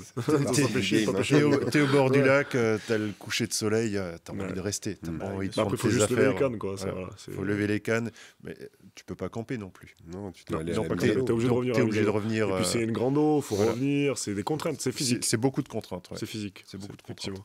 Je les ai acceptés au DER, euh, puisque j'ai eu l'opportunité de récupérer un poste. Ça s'est fait très vite. Je suis un pêcheur qui aime pas trop programmer. Je programme pas trop les choses. J'aime bien aller à l'instinct, là où j'ai envie d'aller. Mm. Euh, sur Facebook, je tombe sur ce post, euh, quelqu'un qui lâche un post une semaine plus tard. Je regarde Katia, qui est ma compagne, et qui me dit euh, Bah, vas-y. Ça, c'est des mots sympas, ça. Ouais, et, Ça d'ailleurs, d'ailleurs, Ah. on- on- on- on- on- j'aurais pu rebondir sur ça tout à l'heure quand vous avez dit, tu vois, euh, quand vous étiez jeune, d'avoir cette relation, comment trouver une femme, euh, tu vois, et avoir une femme conciliante avec ça? Parce Alors, que vous disait que ça prenait beaucoup de temps sur la pêche, sur la vie sociale et tout ça, et que c'est très dur de trouver une femme quand on a, parce qu'on est quand même des passionnés et qui passons beaucoup de temps. On passe pas un week-end tous les deux mois, tu vois, à la pêche. Non, non, ça, ça prend beaucoup de temps, ça prend beaucoup de ton temps personnel, Mm. ton temps sur ta famille. Mm. Donc ça, euh, Soël a fait le choix de, libre, de vivre en étant libre. Moi, j'ai une famille euh, très tôt, puisqu'à 25 ans, j'étais papa. Euh, j'ai fait un mauvais choix parce que ma première compagne, la maman de ma fille, l'a pas accepté, enfin, me l'a pas demandé directement, mais m'a pas accepté que je puisse partir euh, comme ça. Donc j'ai mis un petit frein pendant quelques années sur euh, la pêche des grands, des grands lacs. C'est ceux qui prennent le plus de temps. Mm. Finalement, prendre Ouais. sa canne, aller faire un petit coup du soir euh, sur un canal, une rivière, ça prend pas beaucoup Une de temps. petite nuit de temps en temps, c'est clair. Mais tu as cette frustration, tu es là, tu as envie de rester. Mm. T'es- voilà. T'as le T'es- syndrome c'est- où tu le remballes et Ouais, c'est le truc de Putain, ça s'arrête déjà, faut que je rentre. Et finalement, euh, après, je me suis séparé de, de la maman de ma fille. Euh, je suis retourné sur les lacs et là, euh, j'ai eu la chance après de rencontrer Katia, que j'ai emmenée sur les lacs, qui a pris du plaisir à aller Mm. avec moi. Ça, c'est important. C'est important. Donc aujourd'hui, elle comprend. Elle comprend mon besoin d'aller au bord de l'eau. Euh, je ne sais pas si c'est les chance, hein, poissons Ouais. réellement qui m'emmènent au bord de l'eau. Je ne sais pas ce qui m'emmène réellement au bord de l'eau, mais j'ai besoin d'y être. J'ai besoin d'y être. Avec une canne, c'est mieux, mais j'ai besoin d'y être. Ouais. Et c'est la carpe qui, voilà, c'est Ça mon se poisson de cœur. J'ai pêché ouais. du silure, j'ai pêché du carnassier. Euh, ça me plaît, mais ça n'a pas cette part de rêve. De... Mm. Ouais, il y a quelque chose qui me fait vibrer dans la carpe. C'est indescriptible. Et- Ouais, et- c'est et indescriptible. Du coup, euh, et quand tu dis, euh, juste, je, rebascule sur ce sujet public, euh, privé. Le public pour toi, donc finalement, c'est plutôt les grands lacs. C'est ce qui te, c'est ce qui te Euh, motive. quoi. Moi, c'est les, c'est les grands lacs, c'est les grands espaces parce que j'aime. Et un grand espace, Voilà. est-ce qu'un fleuve, tu le mets dans le grand espace ou Ouais, pour ou moi, un- non, non, pour, pour Si, moi, un fleuve, ce les c'est un grand espace. D'accord. Parce qu'en plus, Et un canal, par exemple, parce qu'un canal, c'est Ah, il y a différents canaux. hein. Ouais, Il y a différents canaux. canaux, Grand tu prends le canal du Rhône. euh, exactement. Ouais. Donc, est-ce que, est-ce que Ouais, les canaux, costaud, par là. exemple, toi, tu trouves ton, J'y ton- trouve pas mon compte parce que j'ai à 200 mètres de chez moi un bief de plusieurs dizaines de kilomètres où il y a des très grands poissons et je le pêche très peu. D'accord. Parce que. C'est le décor, Euh, Ouais, c'est le décor. l'étroitesse, c'est et- quoi? Et puis euh, ma pêche aujourd'hui est depuis pratiquement 10 ans, à 90%, c'est de la pêche en bateau cabine. Ouais. Donc je suis un amoureux de l'espace euh, de liberté que te procure Mm. le bateau cabine. Enfin, du sentiment de liberté que te procure le bateau sentiment. cabine. C'est un sentiment. C'est juste, euh. juste un sentiment de liberté. Voilà. Mais tu peux l'avoir sur les canaux. Il y a des potes qui pêchent les canaux, qui prennent leurs pieds à pêcher les canaux. Ouais, ouais. Moi, voir des pales planches en face ou un mur en béton, c'est- j'ai une petite frustration. J'aime Ouais. bien euh, voilà, être, être au milieu de mon élément. Et le bateau cabine m'apporte ça. Ça, c'est bien. Bah Mm. écoute. Et Soel, bon, je pense qu'on connaît un peu la réponse. Ouais, mais, bah, Mais je il va pense que c'est intéressant de savoir. euh, Oh ouais, bah, je- c'est il y, a énormément de raisons pour lesquelles euh, je ne pêche pas le privé. Mais la, la raison numéro un, en fait, c'est que euh, j'essaye depuis très longtemps de ne pas oublier qu'on joue avec des animaux vivants. Et il n'y a pas d'autre terme, on joue, hein, on est des bourreaux, Mm. hein, on a beau euh, se, se dorer un peu le blason, on reste des bourreaux. Euh, et du coup, euh, même si c'était un grand privé, c'est le problème pour tout- toutes les eaux, hein, qu'on s'entende bien. Mais euh, ça me dérange encore plus, en fait, dans un privé, euh, de pêcher des poissons qui tournent en rond et qui, même s'ils vont, parce que c'est des poissons très intelligents, ils vont développer en fait tout un tas de, euh, d'attitudes pour, pour éviter les pièges. Euh, mais n'empêche qu'ils se font, entre guillemets, martyriser encore plus que les autres. C'est pas faux. Euh, Et ça, c'est la raison numéro un pour laquelle je ne pêche plus euh, les privés, parce que j'ai pêché les privés. Quand j'étais gamin, euh, au, au tout début des privés, mon père m'emmenait deux, trois fois dans les privés, parce que c'était pratique, parce Bah que oui, moi j'étais un sûr. gosse, Bah parce ouais. qu'il y avait des La toilettes. sécurité, C'était cool, les toilettes. ouais, exactement. Tu vois. Et la, la seule fois, seule et unique fois en fait que je suis allé dans un privé en étant euh, adulte, même si j'ai toujours l'impression d'être un gamin. Euh, c'est parce que c'était une époque où j'avais fait un petit peu de concours de pêche. Bref, il y avait un enduro qu'on avait gagné avec mon collègue. Et, tu avais gagné 48 heures. Hein. en gros, non mais c'était une escroquerie ce machin. le premier prix, c'était donc tu avais du matos et une semaine de pêche à Curton. Ah, ouais, Rémolé, quoi. Ah, tu vois, c'est tombé, quoi. Euh, et, en plus, à l'époque, les poissons, ils n'étaient pas hein. encore comme ça. Tu vois. Ils venaient pas du tout du lac, on est bien d'accord. Mais ils étaient déjà pas bien, encore comme ça. bien costaud en plus. Ça faisait déjà bien parler de. Et puis, bah, une fois qu'on a gagné, en fait, tu vois, euh, on nous a clairement dit non, bah alors en fait, euh, c'est-à-dire qu'il y a plus d'un an d'attente. donc, on a trouvé un autre truc. Il y a un super centre de pêche qui vient d'ouvrir, ça s'appelle Carpatrophy. Vous allez aller là-bas. Oh, à Angers. Et eh ben, très bien. Chasse sur Sarthe. Ok, ouais, d'accord. Le truc, il venait d'ouvrir, mm. tu vois. Bon, et ben voilà, tu vois, nous, on y allait. Mm. on devait y aller une semaine, on restait trois jours. C'est pareil. Euh, le machin, il venait d'ouvrir. Il y avait des poissons qui étaient comme ça. Et quand, quand le mec, en fait, se pointe sur le poste et me dit Alors, vous êtes content et tout? Bah, Moyen hmm, Ça m'emmerde, les poissons, là, c'est pas cool quand même. Et le gars, il te dit droit dans les yeux euh, Oui, il y en a qui sont un peu plus gourmands que les autres. Pardon? Tu sais que je viens d'enlever deux laisses là Je viens de prendre un poisson de 20 kilos, en fait, je l'ai pris avec ma canne à marqueur. T'es sérieux, frère C'est des poissons plus gourmands que les autres Ah ouais, laisse-moi tranquille. Hmm. Donc euh, là, ça a verrouillé le truc. J'ai même écrit un article là-dessus, sur mon expérience là-dessus. Euh, ça date. Hein. C'était, mm. J'étais sur un forum, c'était même pas Alliance Pêche. D'ailleurs, casse dédié, les gars. Je suis euh, avec les Nash Boys, euh, tu peux leur dire. les vieux dinos. Qui, alors ça, je pouvais pas faire mieux. on, avait appelé, enfin, quand on s'était appelé, on a dit qui aurait cru. Eh ouais, sûr. Qui aurait cru Tu vois, justement, c'est, euh, bah, c'est, moi, je trouve que c'est très intelligent. Bah c'est une bah, d'ouverture d'esprit. Comme quoi, et puis, ça montre que le temps passe. Et les temps, oui, non, mais certes. Et puis, on est là pour parler d'un sujet bien précis. On est, pas, on est aussi là pour parler de pêche. Et puis faire évoluer les mentalités aussi un peu.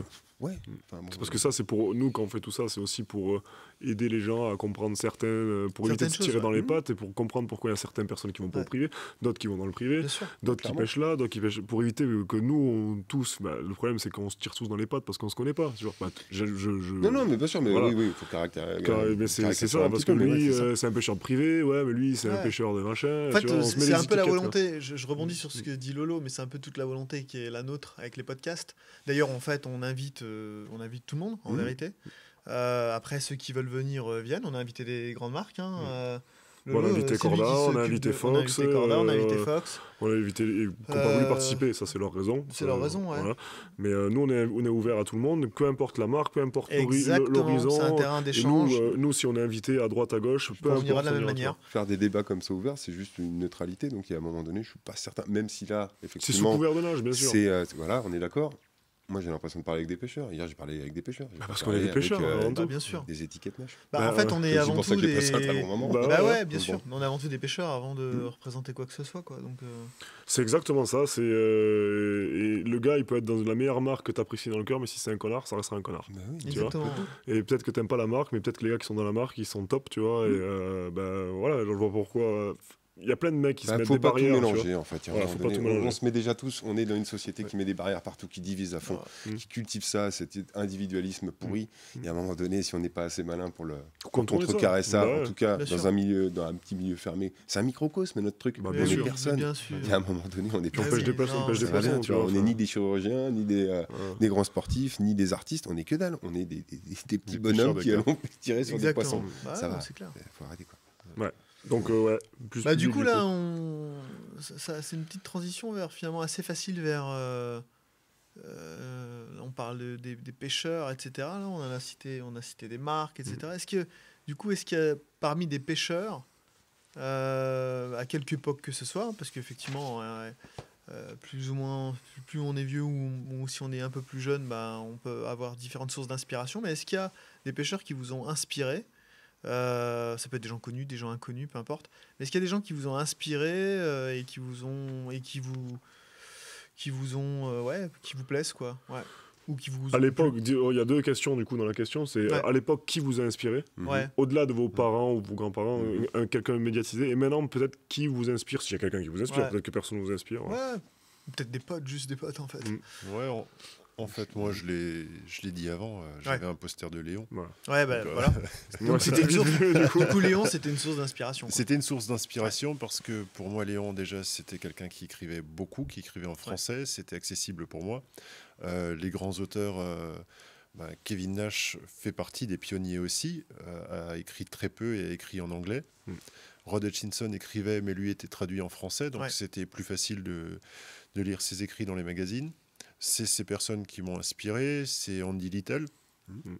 Tu parlais des, des pays de l'Est. euh, Andy Little avait déjà écrit euh, un article sur les carpes en Bulgarie, Mhm. qu'il était déjà allé pêcher euh, il y a 30 ans. Alors, euh, Ouais. il faudrait vérifier l'info, mais je crois qu'il y avait un peu escroquerie. Je, euh, je suis tombé vraiment de, de- de haut il n'y a pas longtemps parce que moi j'avais j'avais aperçu cette vidéo, j'avais adoré Ouais. cette vidéo. tu vois. Et euh, je crois que c'était un peu euh, un, Un ouais. Ouais, je crois. Bon, après, voilà. C'est pas grave, ça m'a permis, envie. ça m'a Bah, permis de rêver, ça m'a permis. Voilà. de rêver, c'est déjà pas mal. ouais. Donc il y a eu ça, il y a eu euh, ensuite l'époque des magazines qui, euh, pour les plus jeunes, c'est quelque chose d'incroyable, mais euh, nous on s'informait dans les magazines, on lisait. Ouais. Euh, dans- à partir des années Mm. 2000, euh, bah, avant c'était euh, bah, Tartaglione, euh, Couturier, Ouais. tous ces gars qui euh, me faisaient rêver, qui traînaient sur les grands lacs. Ensuite, il y a eu l'époque où toi, tu as écrit euh, énormément d'articles. Je pense qu'avec Bruno Médou, vous devez être euh, les deux euh, personnes qui ont écrit le plus d'articles dans les magazines euh, français. Pour beaucoup de personnes, je pense que ça se sait plus. Mais Ouais. Ah Voilà. il y a une période, moi, c'était ma Tu- période, c'était ma tu génération. ouvrais un magazine. Euh, ouais, ça. Il y avait un article de Jocelyn, il y avait un article de Jean-Pierre et de Patrick. Mm. Souvent, ils écrivaient ensemble. Euh, Carpsen, pour moi, ça a été le magazine de référence. Bah, c'était C'est là que je m'y après, retrouvais le plus. Mm. C'était les pêcheurs qui me ressemblaient le Mm. plus. Euh, quand tout ça, ça s'est arrêté, j'ai eu une espèce de petite nostalgie parce que finalement, le numérique, ça m'intéresse pas. Mm.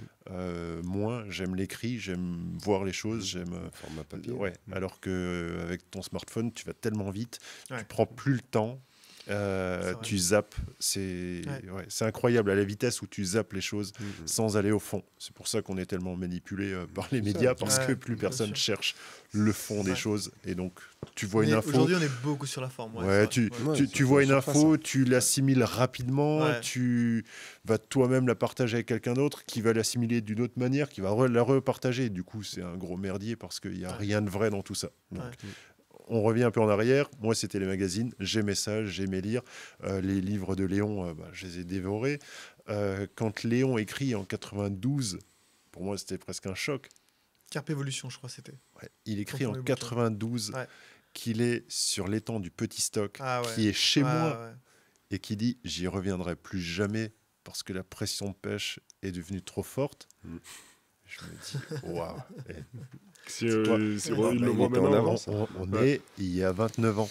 Ouais, Le gars, il y a 29 ans, il te dit Sur ce lac, j'y retourne plus. ouais. Il a été sur Cassien, il a attrapé Half Moon, Half Moon, ouais. il n'y est plus jamais retourné. Ouais. Et tu te dis, aujourd'hui, euh, puisqu'on fait des, des vidéos, on se fait un petit peu des fois euh, lyncher parce qu'on dévoilerait des pseudo-lacs. euh, j'ai moi-même fait une vidéo sur mon lac de cœur. Mm. Je l'ai partagé, ça me dérange pas. Léon l'a fait, des grands auteurs l'ont fait, les pêcheurs étrangers l'ont fait. Donc je me dis, il n'y a plus rien de mythique. Ah non. Là, les petits jeunes qui s'affolent pour les trucs là, faut qu'ils arrêtent. Mm. Faut qu'ils arrêtent. Tout est connu en France, Léon, ouais. 92, il écrit que le petit stock, il est mort. tu, te dis, tu te dis, attends, Ouais. c- on était aux prémices de tout en 92 et carrément. lui, il dit, j'y retournerai plus. Ouais. Pour moi, la pression de pêche est devenue trop forte. Et là, tu te dis, attends, faut prendre un peu de recul. C'est pour ça, des fois, je pense que les écrits sont là, restent les médias, tout ce qui est euh, numérique, ça, Digital, ça ça passe, le digital, ouais, ouais. ça passe. J'aime, c'est pour ça que j'aime les livres, c'est pour ça que j'ai lu et c'est ces auteurs-là qui m'ont inspiré. Donc, euh, mon inspiration est venue de là. Et depuis une dizaine d'années, avec la diminution des, des magazines, enfin plutôt cinq ans, je cherche de moins en moins d'infos, j'ai de moins en moins de personnes qui m'inspirent. En particulier, je vais piocher un peu chez tout le monde. Un pêcheur de compétition, pour moi, je me dis, waouh, Ouais, les compétitions, c'est notre milieu encore qui est extrêmement. le gars, il est capable d'accepter tout ce que moi je refuse, d'être euh, cantonné à un endroit, développer une pêche pour en obtenir un rendement maximum Ouais. sur un temps donné. Ouais. Enfin, pour, pour moi, c'est, je me dis, j'ai beaucoup de respect pour ces personnes. Moi, je l'ai pas ça. Ça m'intéresse pas. Donc c'est pour ça on parlait du pri- privé public. Euh, on va se dire, ouais, Jeff, il pêche que les que les publics, il est contre le privé. Non, je suis pas contre le privé. C'est juste le système du privé qui me dérange. J'ai pas envie Mm. d'être cloisonné. Je suis retourné au DER parce que le DER, j'avais pas fini le truc. C'est pour moi, c'est un peu mythique. Et il est mystique Mm. parce qu'aujourd'hui, il y a aucune eau en Europe Ah oui, qui peut produire les poissons que produit le DER aujourd'hui. Puis, euh, quand, quand Donc- tu sais qu'il y a peut-être des poissons qu'on n'a jamais attrapés. Donc Voilà. finalement, Mm. j'ai cette petite part de l'envie de trouver le Graal. Euh, en plus, je fais une nuit incroyable. Je fais une nuit euh, où je fais du poisson, j'en fais beaucoup, je fais des beaux poissons. euh, et là-dedans, j'en sors une avec un écaillage de fou. Ah, celle-là, elle est incroyable. Ouais, elle est super. Ouais. C'est- Là, moi, j'avais le Graal. Mm. J'avais mon Graal. Ouais. J'étais sur le DER. J'ai vécu un moment, pour moi, Un vieux exceptionnel. poisson écaillé. euh, Pour moi, c'est ouais, le Graal. Quelque chose. Après, il y a les 40 kilos dans le DER. Ouais. C'est le Graal aussi. Ouais. Mais j'ai eu mon Graal avec cette Ton Graal à toi, Voilà. qui est le plus important, en fin de compte. Et moi, j'avais réussi. euh, Voilà, j'ai pris du plaisir, donc j'avais réussi ma session. L'essentiel, il est là, c'est de prendre du plaisir. Sans, on n'est pas au bord de l'eau pour en chier. euh, je, je me donne une part euh, de souffrance. Tu pars des fois à l'arrache. Euh, on a eu le cas, Aurélana. Mm. J'ai dépensé une énergie, mais, euh, Pareil. Folle. mais, mais incroyable, Ouais. folle. Ah ouais. Si je regarde, Ah ouais. si je prends un peu de recul, dépensée pour le résultat. Ah ouais. je regarde l'énergie dépensée, je me dis, mais, mais T'es taré. T'es taré. Bien sûr. Un truc qui a, qui, ouais, qui, qui, qui est- qui s'est pas connecté. Mais finalement, ça fait celui que je suis. Je peux pas rester en place. J'ai pas envie de m'enterrer sur un endroit pendant trois jours et puis attendre une carpe. J'avais envie de découvrir. Soel disait, t'arrives, tu vois une baie. tu- oh, Il y a une part de rêve qui vient quand tu vois cette baie et tu te dis, là, ça pue le fiche. Là, Je le sens. films direct. Ouais, Là, je c'est le ça. sens. c'est- Tu, tu sens le truc, en fait, tu vois pas le fond, mais tu sens déjà, tu te dis, ouais, là, ça pue le fiche. Tu Mm. sens-. Et en fait, c'est Aurélana, c'était pour moi, c'était. euh, ouais, j'ai remonté et descendu ce Ah, lac. je sais bien. ouais. je On t'a sais pas combien de fois, j'ai cramé euh, 40 litres Pour d'essence. info, pour info, pour ceux qui nous écoutent, Oriana, c'est un barrage qui fait 40, 40 bornes de long. 40 bornes de long. Ouais. Donc le parcourir euh, à plusieurs reprises, comme on l'a eu fait. Avec un 6 chevaux Euh, chargé, avec un passait 6 long. chevaux, c'est des heures et des heures de navigation. Je pense qu'on a passé au moins un tiers de notre temps à naviguer. Ce qui est bien, c'est qu'il y a une vidéo. Et il y a une vidéo, Ouais. où vous verrez tout ça. Ouais. des navigations de jour, des navigations, De nuit. un peu moins le dire, mais de nuit. Euh, donc euh, bon, bref, c'était pas facile. Ouais. Et donc, sur 7 jours, euh, en cumul, je dois être à une vingtaine d'heures de navigation. Et de nuit, sauf quand t'as sondé de nuit. Un truc de fou. Ah, moi, je me souviens, Tu quand te tu dis, nous tu as appelais le consacré soir, quasiment ouais. une journée complète, Ouais. presque 24 heures, Ouais. à faire que de la Que de la navigation. Et ça, c'est sans les Pour changer de poste, pour voir des choses. Pour... Mais quand tu connais pas le lac, c'est toujours ça. c'est- Et que t'as un peu la bougeotte et que t'as envie de comprendre comment ça se passe. tu peux pas rester au début à rien faire. Tu Je pense qu'aujourd'hui, je connais mieux le lac de visu, Mm. je le connais mieux que les pêcheurs espagnols qu'on a rencontrés qui avaient la voiture au cul Ah euh, oui, bien sûr, parce qu'ils sur, sur les postes parce qu'ils ne sont jamais allés autre part. Mm, mm. Et moi, c'est voilà, cette immensité me procure ce plaisir-là et ouais, c'est pour moi c'est le kiff.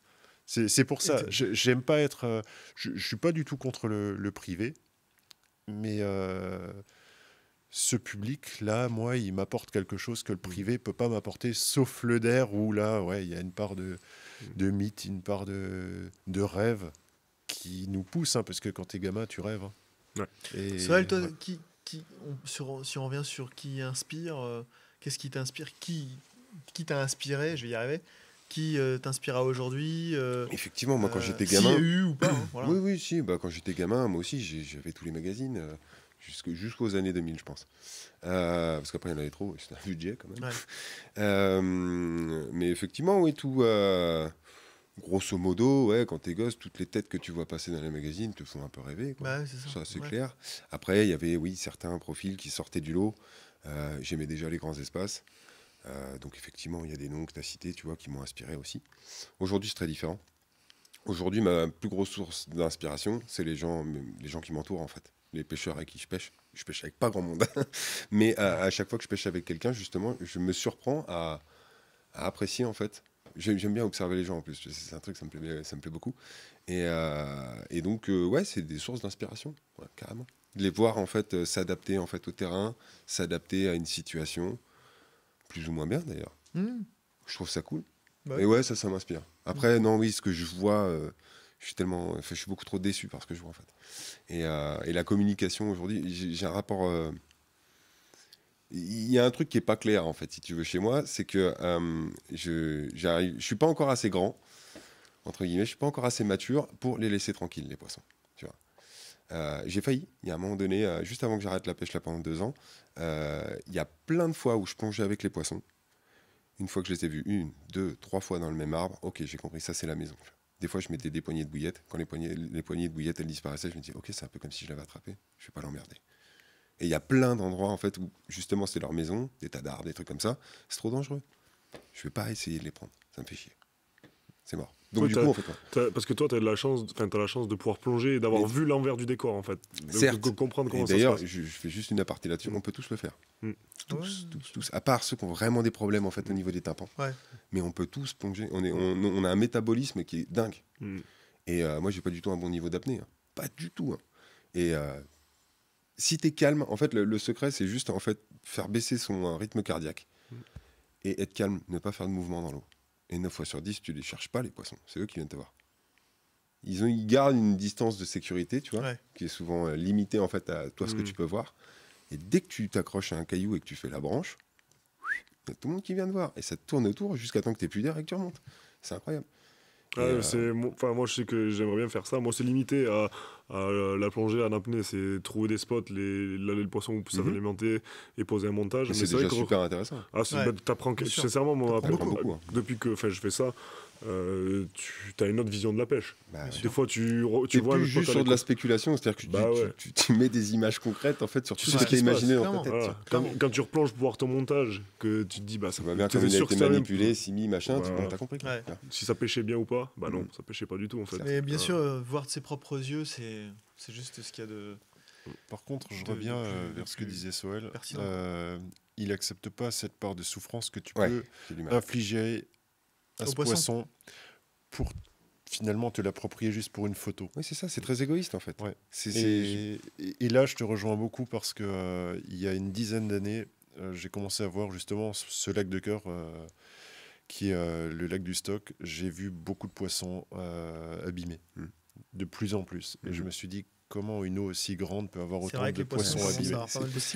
Et je l'ai compris très facilement. J'ai observé les pêcheurs et j'ai vu ce qu'ils faisaient. Mhm. euh, et j'ai jamais accepté réellement ce qu'ils faisaient. Ils pêchaient le long des, ils pêchent le long des roseaux. Il y a des, il y a des roseaux euh, Ouais. quasiment sur euh, L'intégralité. du- lac. l'intégralité du lac, ouais. Euh, les roseaux, c'est une zone de refuge et de nourriture au printemps. Les poissons sont dedans. Les gars ont commencé à pêcher de plus en plus proche, à pêcher dedans, à amorcer dedans. Donc Ouais. finalement, à garder les poissons dans les roseaux. Ouais. Il y a 10 ans, bateau cabine, j'étais le seul à pêcher en plein milieu. Mhm. J'étais au mois de mai, en plein milieu du lac. Jocelyn, on s'est rencontrés euh, sur ce lac. Un jour, euh, je lui ai même dit, euh, c'était euh, c'est quand tu étais venu, euh, ça devait être en 2013 ou 2014. Tu étais venu, on devait faire une pêche ensemble. J'ai eu un souci, j'ai pas pu venir tout de suite. Tu es allé euh, pêcher dans une baie parce que tu as dit oui, mais tous mes potes, toutes mes infos viennent des roseaux. Les poissons sont dans ces roseaux. Et je t'ai dit, Joe, on va pêcher la pleine eau. J'ai eu du mal à t'attirer en c'est vrai. T'y croyais pas, tu me dis, Bah, Jeff, moyen, ouais. il y a rien. Tu Ouais. m'as dit, il y a rien. Qu'est-ce qu'on va Surtout faire que là là-bas, en fait, les fonds, pour comprendre, c'est que c'est un, un boulevard. Il c'est monotone, c'est vaseux, il y a, il Il n'y a reste. pas de variation euh, de fond, ouais. il n'y a pas d'obstacle. Ouais, Et la seule chose qui te parle en tant que pêcheur, c'est ces grandes roselières. Ouais. Euh, et donc de, de- de faire cette pêche, euh, ah, il y a quelques plaques de nénu, mais c'est cette grande Ouais, roselière, c'est quelques ouais. plaques de nénu, c'est les seules choses qui visuellement euh, attirent ton attention. Quoi. Oui. Et donc, je t'ai emmené euh, justement pêcher Ouais. en pleine eau. On a fait une très grande carpe. On a Ouais, fait un poisson de, plus de 25 kilos euh, qui qu'on voyait pratiquement pas. Ouais, puisque je vrai. pense que c'est un poisson qui allait pas dans les roseaux, Mhm. tout simplement, puisque voilà, il y a Il les compris que. Et moi, j'ai commencé à pêcher cette eau. Euh, où t'as rien, mais finalement, tu commences à comprendre qu'il y a des poissons qui évoluent, qui restent, qui vont pas dans les roseaux, qui trouvent leur nourriture, puisque leur nourriture naturelle est aussi là. Les vers de vase Ah, sont dans la vase, vase sont pas dans les roseaux. Ouais. Donc, tu as des poissons qui s'alimentent peut-être plus sur les vers de vase que tu vas faire là. Et quand j'ai découvert ça, je me suis dit, mais plus jamais j'irai poser une canne Ouais. proche des roseaux. Ah. C'est super intéressant ce que tu dis parce qu'en fait là-dessus on a énormément à apprendre. Je vais essayer d'être bref. Ça va être compliqué parce que là le sujet il est, il est- il est un peu lourd quand même. Mais euh, euh, aujourd'hui, je pense qu'il faut vraiment, si on veut préserver nos cheptels, pour rester dans le thème, euh, il faut qu'on apprenne à communiquer différemment. Il y, a, il y a tout un tas de sujets euh, sur la, la carpe et la pêche de la carpe dont on parle jamais. On tourne en rond sur toujours les mêmes choses. On rend les gens de plus en plus redoutables sans leur apprendre. Va, trouver un tuto sur YouTube, toi, sur comment manipuler les poissons. Mm. Il n'y en a pas. Il y, a, il y a mon pote Chris et, euh, et un autre pote qui avait fait ça une fois. Tu vois Et encore, c'est même pas sur YouTube, je crois. Mais il n'y a pas de tuto là-dessus. Il n'y a que dalle. Donc, en gros, tu, On a parlé, tu, euh, tu Sur- on, rends a- les gens. on en a fait un, euh, on en a fait un oh, il y a 4 ans que vous avez partagé. Sur Ouais. On s'en fiche, on en avait fait un. D'accord, ok. Bah, tu Comment, vois, autant euh, pour moi. Comment Je- sortir je- Ouais, je mais bêtises. ça date de- puis ça a été, ça a vu mille fois. Pour te dire. D'accord. Quel point. Ouais, parce que ça il y a- intéresse pas les gens. y a- pas tellement, Pas en fait, j'ai tellement, l'impression. voilà. Pas tellement. Sauf qu'il y a un moment donné, encore une fois, euh, si on a bien un truc en commun, tous, c'est notre patrimoine. Mm. tu vois. Bah oui. C'est nos poissons. C'est encore une fois, c'est des, des êtres vivants. Oui. Euh, ils sont pas indestructibles, même s'ils sont solides. Mm. Euh, Il y a un moment donné, euh, si on donne pas les tuyaux, nous entre guillemets, les vieux ragondins, tu vois, qui avons cassé du poisson dans tous les sens, parce qu'il faut le dire, on a tous fait des conneries. hein. Ah, bien sûr. Et euh, je dis pas qu'on n'en fait plus d'ailleurs. Mm. Euh, mais si nous, en fait, on donne pas les tuyaux sur Oh, ce qu'il faut pas faire Ah, pour éviter de casser des poissons, Ouais. tu vois, Bah, ça qui risque va de, faire ça risque il y a un de, moment de donné, continuer en fait. pas faire, oui, c'est Ouais. ça. Surtout qu'on est de plus en plus nombreux Ouais. et que c'est un gros bazar. Euh, donc voilà, déjà, si on pouvait recentrer notre communication un petit peu là-dessus, en tout cas dépenser plus d'énergie là-dessus, ça serait pas mal. Comme quand on aborde euh, des lacs. Moi, il y a dix ans, par rapport à mon expérience personnelle euh, qui était liée aux Landes, j'ai arrêté de communiquer. En fait, j'ai arrêté de montrer des trucs. Je, moi, franchement, je me suis amputé un peu le bras quand j'ai fait ça. Quoi. Mm. Parce qu'il y, a il y a une petite dizaine d'années, quand je faisais des petits clips vidéo, moi, mon fond de commerce, j'ai jamais gagné de thunes avec ça, hein, qu'on s'entende bien, Mm. mais mon fond de commerce, c'était des paysages, de la musique, et basta. Tu sais, je mettais deux, trois poissons dedans pour dire, ouais, au fait, je pêche des cartes, mais c'était le paysage. Ouais. Je voulais juste montrer la nature brute et, euh, et partager ça. Partage, on pourra en reparler, c'est une grosse couverture qu'on met sur les yeux, hein. c'est c'est assez rigolo. Mais euh, partager euh, donc, les endroits magnifiques qu'on avait en France. Voilà. Euh, je pensais pas que ça allait partir en sucette à ce point-là aussi vite. Surtout, je ne montrais pas des machins énormes. C'était déformé euh, par la GoPro parce qu'il y a eu le Oui. fichier à l'époque, tu vois. Mais euh, mais il y avait rien d'exceptionnel là-dedans, tu vois. Et là, j'ai compris un truc, c'est qu'en fait, on pouvait plus communiquer, même si tu montrais des petits poissons. Eh ben, tu attirais quand même une manne de gens. On est trop de pêcheurs, en fait. c'est Ouais, tout. on est on est trop. Donc, c'est hyper faire, intéressant ce que réellement. tu dis. Tu es en train d'amorcer le- la transition Ouais, de la- exactement. ouais. du sujet en fait. donc C'est c'est- parfait. ça tombe parfaitement. Puisque les intros là maintenant, on sait un petit Ouais, peu mais mieux il a bien révisé cette nuit. Euh, ouais, je vois ça, il a bien amorcé le boom. Euh, et en fait, ça nous permet une excellente bascule sur le sujet, le sujet qui nous réunit aujourd'hui.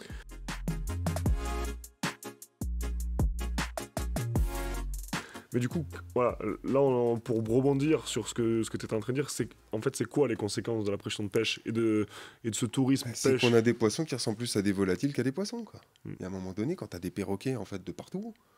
Les perroquets, euh, pour ceux qui nous entendent qui ne savent pas ce que c'est dans le jargon, euh, c'est un poisson qui n'a plus de lèvres. Mm. Vois Plus de barbillons, plus de barbillons, plus de commissures. euh, des queues cassées. Voilà, les poissons, ils sont Des défoncés. stigmates, donc euh, des écailles manquantes, des queues Exactement. cassées, euh, la, la- la gueule bleue avec euh, le perroquet, quoi. hein, Exactement. la, la gueule Encore- du perroquet. Encore qu'une écaille va finir C'est par c'est le repousser. moins pire. C'est le moins pire. les nageoires cassées, par contre, c'est mort. Des fois, ça se ressoude pas trop mal. Mais Parfois, ça se mais parfois, ça se on, a, ressoude on, a, on, avait, on avait sauvé, un, enfin sauvé, on, a, on avait décalé un poisson euh, à Villeneuve-de-la-Raux, Mhm. qui est un haut lieu de la pêche de la carpe, où Ouais, les poissons carrément. étaient stigmatisés, enfin ils, ils avaient des stigmates partout, enfin c'était des- il y avait des poissons horribles. Mhm. Et depuis, avec le confinement et tout ça, à chaque fois je te le raconte, Joe, ça, avec les confinements, il n'y a plus personne qui est venu, Ok, très bien. tu vois? Et les poissons, Et les se retapent. poissons, on en voit des poissons exceptionnels. Je sais pas si je dois le dire parce que maintenant tout le monde va revenir là-bas. Mm. Mais il y a des poissons très très jolis. Il n'y a pas de gros poissons, Mhm. mais avec des bouches parfaites. Et on a vu même des queues repoussées. Des Ouais, poissons sûr. récupéré En des fonction queues. de la souche et de la qualité d'eau, c'est ouais. hallucinant Ouais. les poissons comment ils peuvent ça. se taper. En Et de la ans, casse de la queue aussi. Oui, Si- si comment c'est- cassé. Voilà, si c'est un petit bout qui, euh, lui, peut, gros, lui repousser, si c'est vraiment la partie dure, osseuse, non, qui est brisée, ça repoussera C'est pas. Bah, c'est compliqué. Ouais. Quoi. C'est Et là, ça, et c'est là- et là, vraiment tu vois, bizarre. on, on a vu, c'est là où, où on se dit finalement ce confinement entre guillemets euh, a été bénéfique pour ça parce que moi j'ai vu mon cheptel pour la nature. hein, Ouais, pour la Ah ouais. nature. J'ai vu mon cheptel parce que Larao, moi j'habite à 10 minutes. J'ai vu le cheptel de mon poisson de cœur là où, où- là où j'ai appris à pêcher quand j'avais j'avais 8 piges pêcher, Mhm. c'est là où j'ai appris à pêcher où j'ai toujours vu des poissons avec des bouches horribles, avec euh, des poissons dégueulasses parce que la souche est pas belle et tout.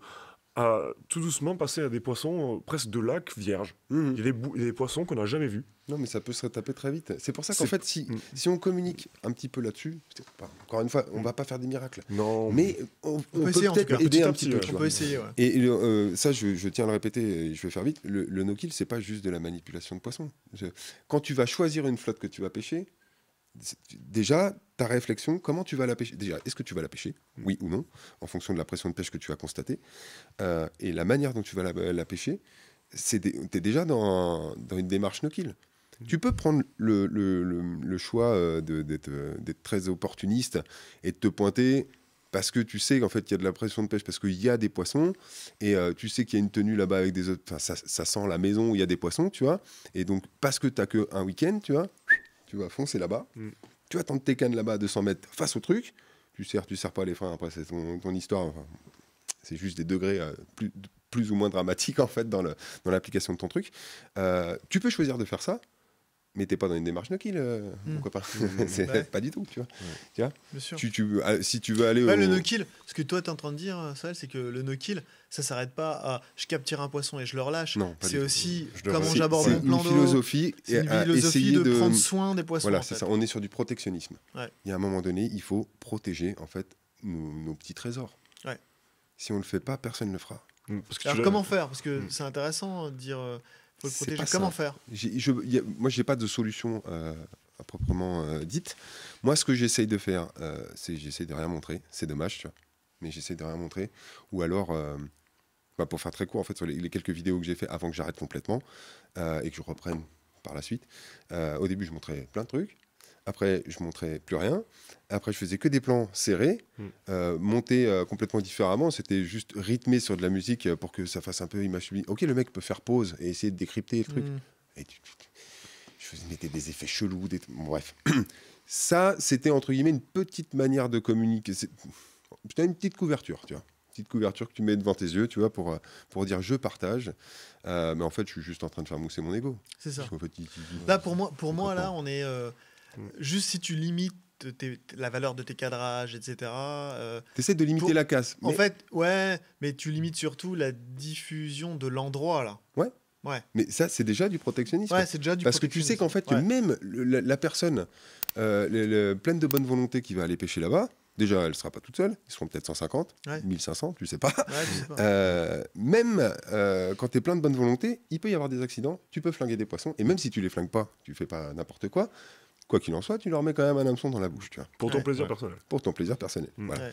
Euh, mais alors, si en plus de ça, t'envoies une armée de gonzes qui n'ont pas forcément les bons tricks, les bons tuyaux en fait pour pas faire de la merde, Ouais. bah ça va super vite quoi. Ouais. Ouais, ça Super va vite. très vite. Mm. Et donc c'est pour ça que c'est- compliqué. Pour moi, la- euh, à l'heure actuelle, la communication, c'est pas un acte no-kill. Je vais loin dans, dans- dans mon délire, mais à moins que tu parles en fait euh, de no-kill ou de philosophie de pêche, à chaque fois que tu communiques en fait, t'es pas no-kill. Parce que tu, tu vas parler d'un endroit, tu vas le cramer, c'est mort. Tu vas parler d'une session, tu dis pas l'endroit. Quoi qu'il en soit, le mec, il va lire ton article ou il va voir ta vidéo, il a il peut- envie, il va- ouais, il il peut trouver. il peut trouver. Il peut Et trouver. puis même s'il trouve pas, le mec, ça lui donne envie d'aller à la pêche. Ouais. Il a envie de le Il va aussi. aller euh, à la pêche dans son, dans, dans son coin, il va encore avoir plus de cartes. Ouais. Euh, tu lui donnes des, euh, des, des tuyaux sur des nouveaux montages et tout, tu le rends encore plus redoutable. le Ouais. mec, il va sûr. attraper encore plus de cartes. Mm. Bah ouais. Tu vois Tu lui donnes des, des tips pour les recettes et tout machin. Pareil. Et c'est tout comme ça en fait. Mm. Donc Pour c'est chaud. On joue pas au foot en fait. Tu vois Du coup- Moi, je, je préférais jouer au foot en fait. Ça serait bien. Il y a la pression de Bah pêche. Ce qu'on est en train de se dire, c'est que la communication entraîne de la pression de pêche. Ouais. Euh, face aux conséquences de la pression de pêche, on est en train de se dire bah, la pression de pêche produit des stigmates sur les poissons. Mm. Et pour limiter finalement l'impact de la pression de pêche sur les poissons, il faudrait communiquer moins. euh, Ou différemment. ou différemment. Tu vois Donc euh, communiquer sur euh, le soin du poisson, essayer de prendre plus. Ça, ça peut être Alors, comment- intéressant. Alors c'est peut-être c'est peut-être assez fa- plus accessible peut-être pour un individu isolé, il peut avoir un comportement, mais quid d'une d'une boîte comme Nash par exemple? Mhm. Euh, Quel Bah, comportement responsable on pourrait avoir Tu, nous tu, tu l'as l'outil. par rapport à hein? ça? Enfin je sais pas, c'est La- intéressant. La. Nage Junior Academy, Hmm. c'est un outil pour apprendre euh, la jeune génération À mani- respecter les poissons. À respecter, à. Ouais, manipuler correctement pour bien. donner justement le. Générer le moins de séquelles possible Ouais. aux poissons. On en génère. Ouais. Que sûr. ce soit un stress ou il y en a. Ah De toute façon, c'est pour le poisson, c'est pas naturel. Et se faire Ah piquer, non, se voilà, euh, ça, faut l'accepter. on On, en a- on tous moment-là, conscience. On en a tous euh, conscience. Mais la nage junior academy. Donc toi, tu dis la pédagogie, Ouais. par exemple, Ah que oui. nous on fait à travers la Nage Junior Academy. mais Pour tous les jeunes qui nous écoutent, si vos parents euh, veulent vous inscrire, n'hésitez pas. Il faut vous adresser à Fred Lardon pour les stages. J'en profite. hein. Ouais. La Nage Junior Academy et à Sylvain Poipy pour les battles. Vas-y, je te laisse continuer. et la pour- pédagogie, ouais. et pour moi, la pédagogie, c'est quand tu es jeune. Ok. bah, Aujourd'hui, un adulte, Ah, il, Il a- assimile il- moins bien il les a Ouais, a- déjà il son caractère, il sa fierté et tout. On fait comment pour les Pour les hein. jeunes, Difficile. on un mode d'emploi. les Pour adultes, c'est perdu. Enfin, pour Bah- moi, c'est, je suis pessimiste, mais c'est perdu. Tu, peux, perdu ouais, Les adultes, c'est, perdu. J'ai eu le cas. J'ai eu le cas. J'étais au DER. Ouais. Euh, j'étais sur un poste qui était compliqué. Il y avait 400 mètres de souche. Mm. J'ai adapté ma pêche par rapport à ça. Alors, Euh, qu'est-ce que ça veut dire Je Adapter perds, je perds aucun poisson. Ouais, mais ça Pour moi, c'était une victoire. Ouais, je perds victoire, pas de poisson. Ça veut dire quoi adapter ta pêche? T'as des souches pour ceux qui nous écoutent. Ça veut dire quoi? Bah, les souches, euh, j'ai utilisé un système de flotteur avec euh, un petit plomb de 20 grammes, un flotteur euh, qui, était, qui était un élévateur Ouais. qui était à 1 mètre de haut, sur Ouais. lequel je mettais un petit clip. Ouais. Et en fait, j'ai posé ma tresse euh, Mmh, sur ouais. 400 mètres au-dessus de de ces pêche au souches. cassant, mais. euh, Voilà. Mais, euh, mais en, mais en décollant, et donc sur les combats, euh, tu remontes 100 mètres de pression, tu Ouais. récupères tes flotteurs. Tous les 100 mètres, j'en mettais un, je récupérais mes flotteurs. Ouais. J'ai perdu aucun poisson parce que je suis allé au-delà des obstacles. Dans les souches, je faisais Ah, peut-être le double, le triple, Ouais, mais de combien de départ. sont perdus mais j'en perdais. euh, Ouais. Ça. Et puis, Ça, alors, donc, là, en puis attends, t'as pas les, t'as les poissons qui sont pas perdus, mais tout le temps où tu auras tiré sur la tresse, qui est collé dans les souches, tu imagines Ouais, la pression mais que tu lui mets à chaque fois On c'est pêche en clair. tresse à ce niveau-là, hein. Ouais. donc t'as t'as pas l'élasticité Mais même si tu as une tête de ligne, j'ai une tête de Bah non, ligne en, en- en nylon de 400 20 de tresse. mètres. Mais voilà, c'est- ça reste de toute façon un poisson qui va forcer. et S'il force, soit il se déchire, soit euh, voilà, il, y a quelque chose qui soit il déchire, soit il casse et il a une laisse. Et, euh, c'est encore. Et donc j'ai fait le choix de pêcher Mm. au-delà de ces obstacles. Pour moi, c'était une victoire de finir cette session avec ces conditions sans perdre de poisson. Mm. Pour moi, là, c'est une victoire. J'en ai un qui s'est souché. J'ai un endroit où l'élévateur n'a pas dû fonctionner comme il fallait. Euh, C'était dans une souche. Je l'ai dessouché cinq fois. Cinq fois, j'ai recoupé ma ligne. J'ai pris du temps. C'est l'expérience qui m'a aidé à ça parce que là, il faut pas de stress. Mm. Il faut être faut calme être dans sa tête. Faut, voilà. Tu c'est presque t'oublies le poisson, quoi. Là, le but, c'est de le récupérer poisson. la ligne, quoi. Ah ouais, clairement. Mm. Le, le but, c'est un moment de reprendre contact avec le poisson sans avoir tiré dessus. Mm. Ouais, exactement. Et ça, Ça c'est compliqué. Ça, c'est l'expérience qui, peut te permettre Ouais. ça. À côté de moi, j'ai un pêcheur qui avait un certain âge, euh, qui a fait un poisson et qui en a perdu, mais je pense une dizaine. Enfin, c'est Ouais. catastrophique. Ouais, ça, C'est- Cette pédagogie-là, tu peux plus euh, l'apporter. Je pense, chez un jeune, tu peux l'apporter. Est-ce que chez un adulte, ah, quand même, je vais être provocateur, est-ce que, si, est que chez un adulte, en fait, si on montre. Parce que l'adulte, euh, il n'est pas idiot, même s'il va en faire que sa tête, parce qu'il veut faire sa touche. Mm. S'il a un matériel adapté et qu'il comprend qu'avec ce matériel, le poisson, il finit dans son épuisette plutôt qu'une casse, bah, Moi, je pense y a Euh, moyen de le peut-être le convaincre, tu vois. de le toucher. Ouais. Ça va être très long. Donc ça va être Ouais, plus long. ça- ça va Mais être si, on, long. si on lui propose un matos qui lui permet vraiment en fait d'aller mettre ce poisson dans l'épuisette plutôt qu'il- que le, ça finit en casse et que finalement il a Ouais. cette frustration de n'a rien à voir, peut-être que donc peut-être avec un matériel un peu plus adapté, on peut peut-être aider l'adulte. Peut-être, sauf que tu as des personnes qui sont prêtes à accepter de pas faire de touches, Hmm. mais de faire des touches où ils rentrent les poissons. Oui. Et tu y en a qui veulent faire de la touche. C'est ça. Ça leur procure un plaisir. Moi, ça ne me procure pas Ouais, si je rentre pas le poisson. toi, euh, je préfère pêcher en plein eau. Je, je- Voilà. je- je suis pas, tu vois, j'aime, j'aime pas pêcher les obstacles. Honnêtement, parce que C'est flippant, c'est moi, je n'aime de pas, ouf, ouais. je n'aime pas pêcher. les- Des fois, je pêche, je pêche à côté, mais jamais, je, je sais pas le faire en fait. C'est que j'aime pas ça. Ouais. J'aime pas tirer sur le poisson. J'adore faire comme toi, te mettre en plein eau et faire entrer les poissons, tu vois. Alors après, tu as mal à qu'il y a une souche qui traîne que t'as pas vu à l'écho, tu vois. Oui, bon, c'est voilà. encore Mais pas très grave. Quand il y a un, trou- un troupeau d'arbres morts, ben ça, j'y vais pas. Parce que j'ai j'ai pas envie de poser dedans et de lui mettre une cartouche. Je sais Bah, pas pêcher frère serré. Voilà, tu vois, ça, je tu sais pas tu le fais pas parce que je pense que tu t'es rempli de tellement de choses que tu n'en as Mm. plus besoin. Exactement. Ton album photo, il est rempli, tu t'en fous, tu plus à une carpe Ouais, mais il y en près. a T'es- qui, il y en a qui ont des albums photos remplis et qui le font. Il y en a qui ont besoin d'aller chercher ça. Moi, j'en ai, j'en ai pas besoin. Mais c'est quand même une satisfaction quand tu es en pleine eau et que tu construis ton coup et que petit à petit Ouais, ça et- marche. et- et vois. puis- et puis- alors, les combats, quoi, c'est autre chose. Ouais, ouais, Non mais les combats, tu parles du stock, il parle du stock. tu compares un tes combat dans les roseaux et un combat en plein eau, ça n'a rien à voir. Dans les il se rien. Tu Bah, finis à la main, rien du tout. comment ça se passe. Tu finis à la main avec la tresse et tu mets à l'épuisette, c'est zéro, franchement. Mhm. C'est pas, c'est- y a aucun plaisir de combat. Alors qu'en pleine eau, bah au moins voilà, Attends, ta, ta ta- canne elle travaille, tu te fais canne, plaisir. se quoi. cintre, tu sens. le- scinde, tu Ouais, sens toutes les c'est- vibrations C'est du quelque combat. chose pour moi C'est qui génial. Tu t'as le bon run, tu vois, t'as la Ouais. gros run, Rien tu, que le la run, en fait, c'est un kiff, quoi. plaisir. Ouais. Parce que moi, je sais que j'ai- pêché euh, frein serré devant les obstacles.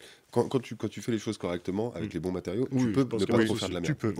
Après, c'est pareil. Tu vois, je parlais tout à l'heure en fait des, trucs qu'il faut étudier avant même de, se mettre en pêche. C'est bien mignon la pêche frais- euh, frein serré devant les obstacles, mais tu fais pas ça avec des poissons qui ont cette souche.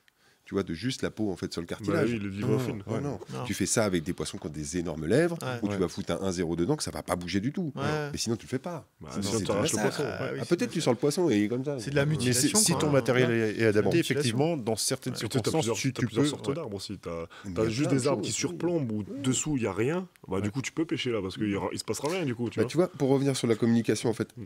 un peu axé no kill, je pense que nous tous qui euh, communiquons quand même, ça serait bien qu'on parle de ça, tu vois. Notamment quand on se pointe sur une eau, si on est prêt, en fait, en gros, à dévoiler l'eau, parce que clairement, euh, même si on dit pas le nom, euh, on Bon, on reconnaît, sait plus ou moins. hein. Mm.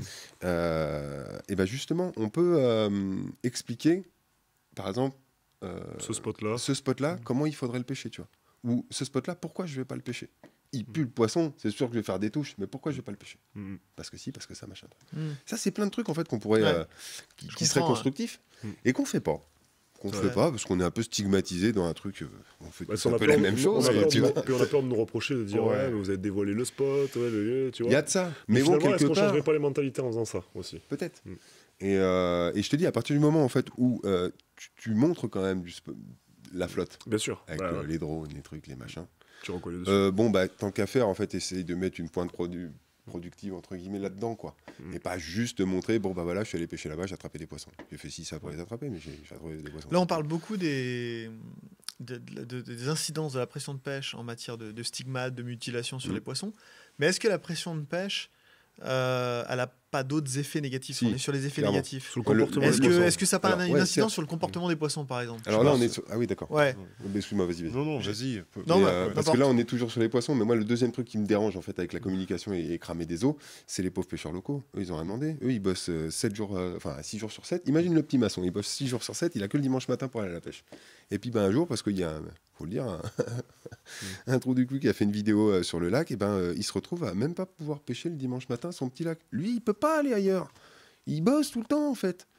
Il, il avait que là pour pêcher. Et ben, lui, il peut plus pêcher. C'est arrivé sur plein de flottes. C'est arrivé sur Ça plein de flottes, ça- arrivera gars, encore ça sur plein de Ça flottes. arrivera encore. Mais ça, c'est simplement le nombre de pêcheurs est, Ouais. est démesuré Bah, il- par non, rapport il à la de Encore une fois, quand tu essayes de Il vraiment. explose, en fait. Ouais. Il y a Ouais, plein Le nombre de pêcheurs, euh, il est non seulement en France, il est grandissant.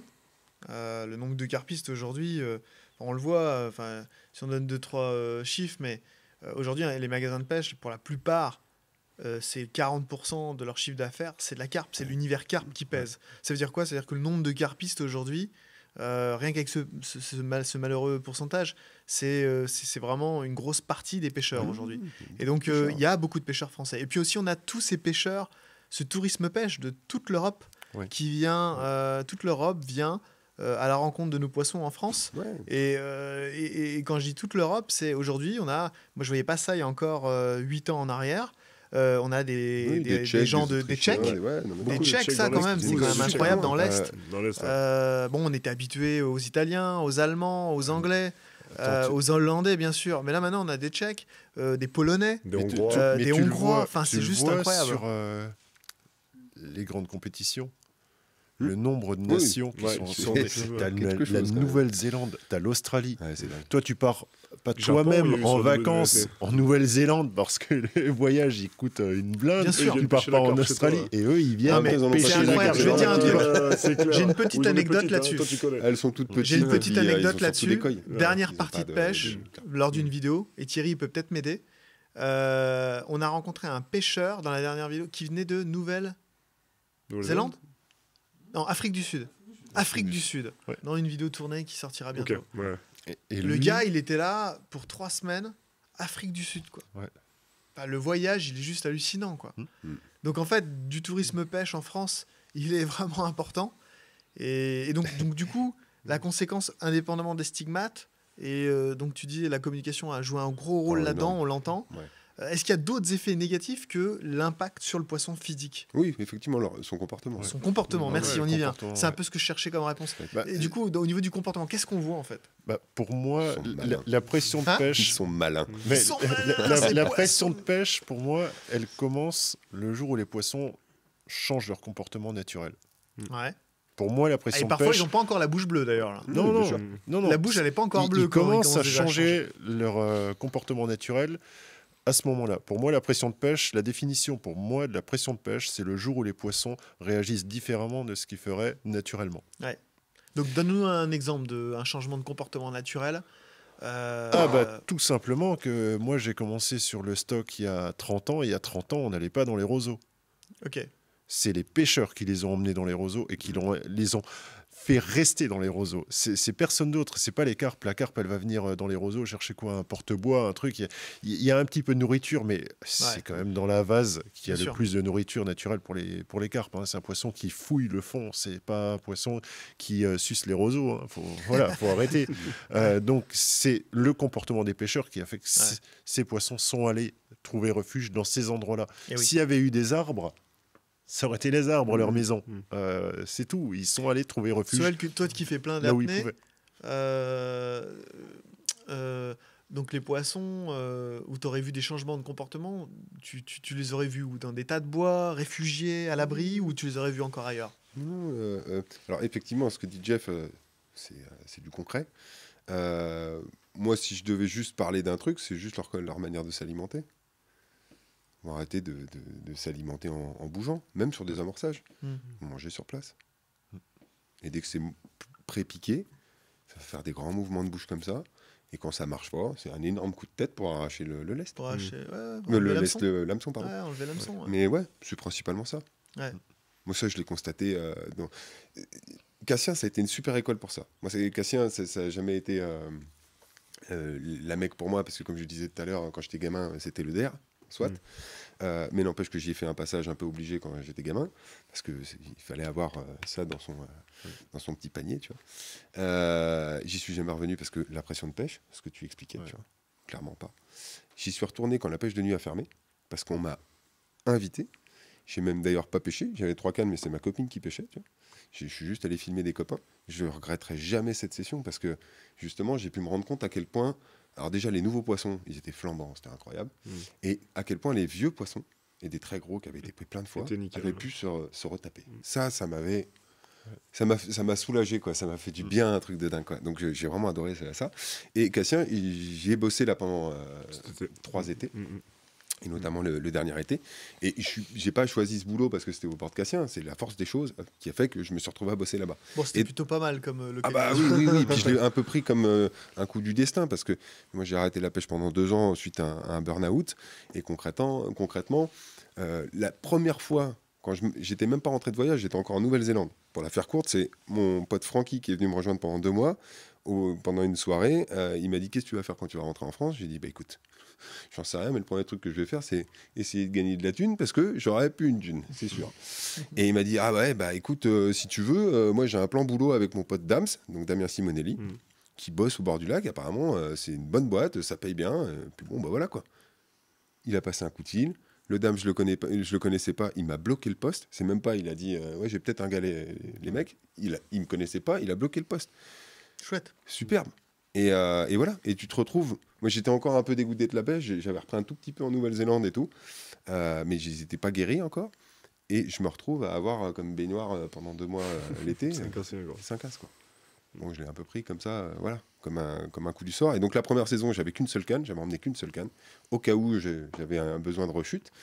Bon, bah, j'ai eu, donc j'ai pêché un peu. Euh, j'ai beaucoup plongé, j'ai beaucoup observé, j'ai très peu pêché, mais j'ai beaucoup plongé. Euh, et puis, bah, l'année d'après, je suis revenu avec quatre cannes. Tu vois et en tout cas, donc c'est pour ça que je parlais de Cassien, j'ai fait une aparté de 10 minutes encore. Euh, mais euh, c'est une super école pour se rendre compte à quel point les poissons euh, peuvent te dévaliser de tes coups Sans que tu de bip, quoi. Ouais. T'as même pas un bip, quoi. c'est incroyable. Et là, c'est vraiment. euh, Et il synonyme- manipule tes sèches. En deux heures, des fois, tu Ouais. plonges, t'as posé comme ça et tout. Au mieux, t'as eu un bip. Ouais. Tu redescends, c'est éclaté. Ton neige, elle est dans un pot à mots. Tu... what? Ouais. Qu'est-ce que c'est ce Ouais. délire, tu vois? Et toi, Et, tu euh, t'es aperçu de rien. Ouais, j'ai- et je me suis rendu compte que c'était comme ça aussi Là, sur des eaux pas pêchées. Ouais. J'ai Ouais, halluciné. et la- L'anecdote que je peux te faire aussi, c'est euh, sur Orient avec Patrick. On aurait pu en parler ce matin, mais on n'en a pas eu parler. Euh, un spot dans une trouée d'herbe amorcé Mhm, avec un plot mhm. en, en bord- en lisière d'herbier. Le plot bouge. On sait qu'il y a un poisson qui est en train de s'alimenter. Le poisson s'alimente pendant près d'une heure. Il nettoie tout le coup. On va voir la tâche parce qu'à un moment donné, c'est assez frustrant quand même Ouais, d'avoir vu le plot bouger. Et là, on se dit, on va, on, on s'attendait à une touche en fait. On va sur la canne. Bah, la canne est là. Elle n'a pas bougé. Le poisson l'a sans doute euh, pris en bouche, euh, craché, mais on n'a pas eu un seul bip. Il s'est rien produit. Il n'y a plus d'apao sur le spot. Et là, tu dis, et là, ton bas de ligne, il est euh, camouflé, plaqué dans le fond. Le plomb, il est en lisière d'herbier. La seule chose que tu vois, c'est l'èche qui est juste sur, euh, surélevé. Et là, tu te dis, ok, c'est à peu près tout ce qu'on sait aujourd'hui Mhm. faire. Euh, on ne sait pas faire mieux en termes de montage. On ne sait pas mieux camoufler les choses. Et là, le poisson, il s'est, pas fait que C'est piéger. le côté mécanique en fait. Et alors, on peut pas dire, pas voilà, c'est le côté mécanique qui n'a y pas a- fonctionné. Il y a eu quelque chose qui s'est pas produit. De toute façon, Mais- c'est hyper intéressant. Moi, ça me fascine, surtout que je vois qu'effectivement, euh, ça arrive même sur des eaux qui sont pas trop pêchées. Mm. Euh, ça fait très longtemps en fait que j'ai remarqué que des poissons qui peuvent être très intelligents, à un moment donné dans l'année, ils peuvent être complètement débiles. Bien sûr. Et là, tu Mm. les enchaînes avec Bah oui, là, n'importe tu peux mettre quoi, n'importe quoi. C'est très rigolo, ça aussi. Euh, ça communique. Les poissons communiquent énormément entre eux. C'est c'est indéniable. Euh, D'ailleurs, il n'y a aucune étude là-dessus. Mm. Si on bossait Écoute, un peu là-dessus, euh, ça serait énorme. Parce que Il y a des études sur des poissons en mer. sur des poissons, mais sur la Euh, carte, tu trouves que Sur la carpe, on n'a pas. Mais marrant. en mer, on sait qu'il y a des études assez poussées Ouais, sur tous le les poissons sujet. communiquent. Moi, je me suis- Par des cliquetis, la communiquent. vessie natatoire, les. Exactement. Ils communiquent et du coup, on a envie de se poser la question est-ce que la carpe le Mais c'est fait? sûr, c'est sûr. Et il y a Vous, vous avez certainement observé des comportements. Moi, j'en ai vu plein sur ils plein d'eau, même des flottes en fait très- qui sont. très- Parfois, ils ont des comportements curieux. Du coup, on peut se demander si vraiment ils communiquent. quoi. Ah ouais, mais c'est Bah, tu sais, il y, a- un truc Pas qui la est, visible, communiquent. c'est pas les carpes, mais c'est les perches. Ouais. Quand tu fais les perches et que tu les relâches au même endroit, Ouais, t'as tout le banc, ouais, t'en fais 2-3, c'est rideau après. Mmh. Ouais. Alors qu'elles sont là. Et tu vois, c'est donc c'est- sûr et certain que Ah, ces bien poissons sûr. communiquent. Certains. Et 100%. après, en, en plongée sur l'analyse en fait de tes spots, tu peux apprendre plein de choses. Quand notamment tu vois un spot qui s'est fait bouffer en partie et au niveau en fait de ton èche, là il y a de nouveau tous les appâts. Là, tu as compris qu'en fait l'èche, elle l'a grillé, Mm. le montage, elle l'a grillé, elle a eu peur, elle s'est cassée. Tu vois. Hmm. Ça c'est flag, tu vois. Quand ça se fait complètement éclater dans tous les Ouais. sens Mm. Et que euh, ton èche, elle a pas bougé d'un centimètre, là c'est que clairement l'èche, ça lui plaît pas. Ça Ouais. arrive souvent avec des pop-up, tu vois. Ouais.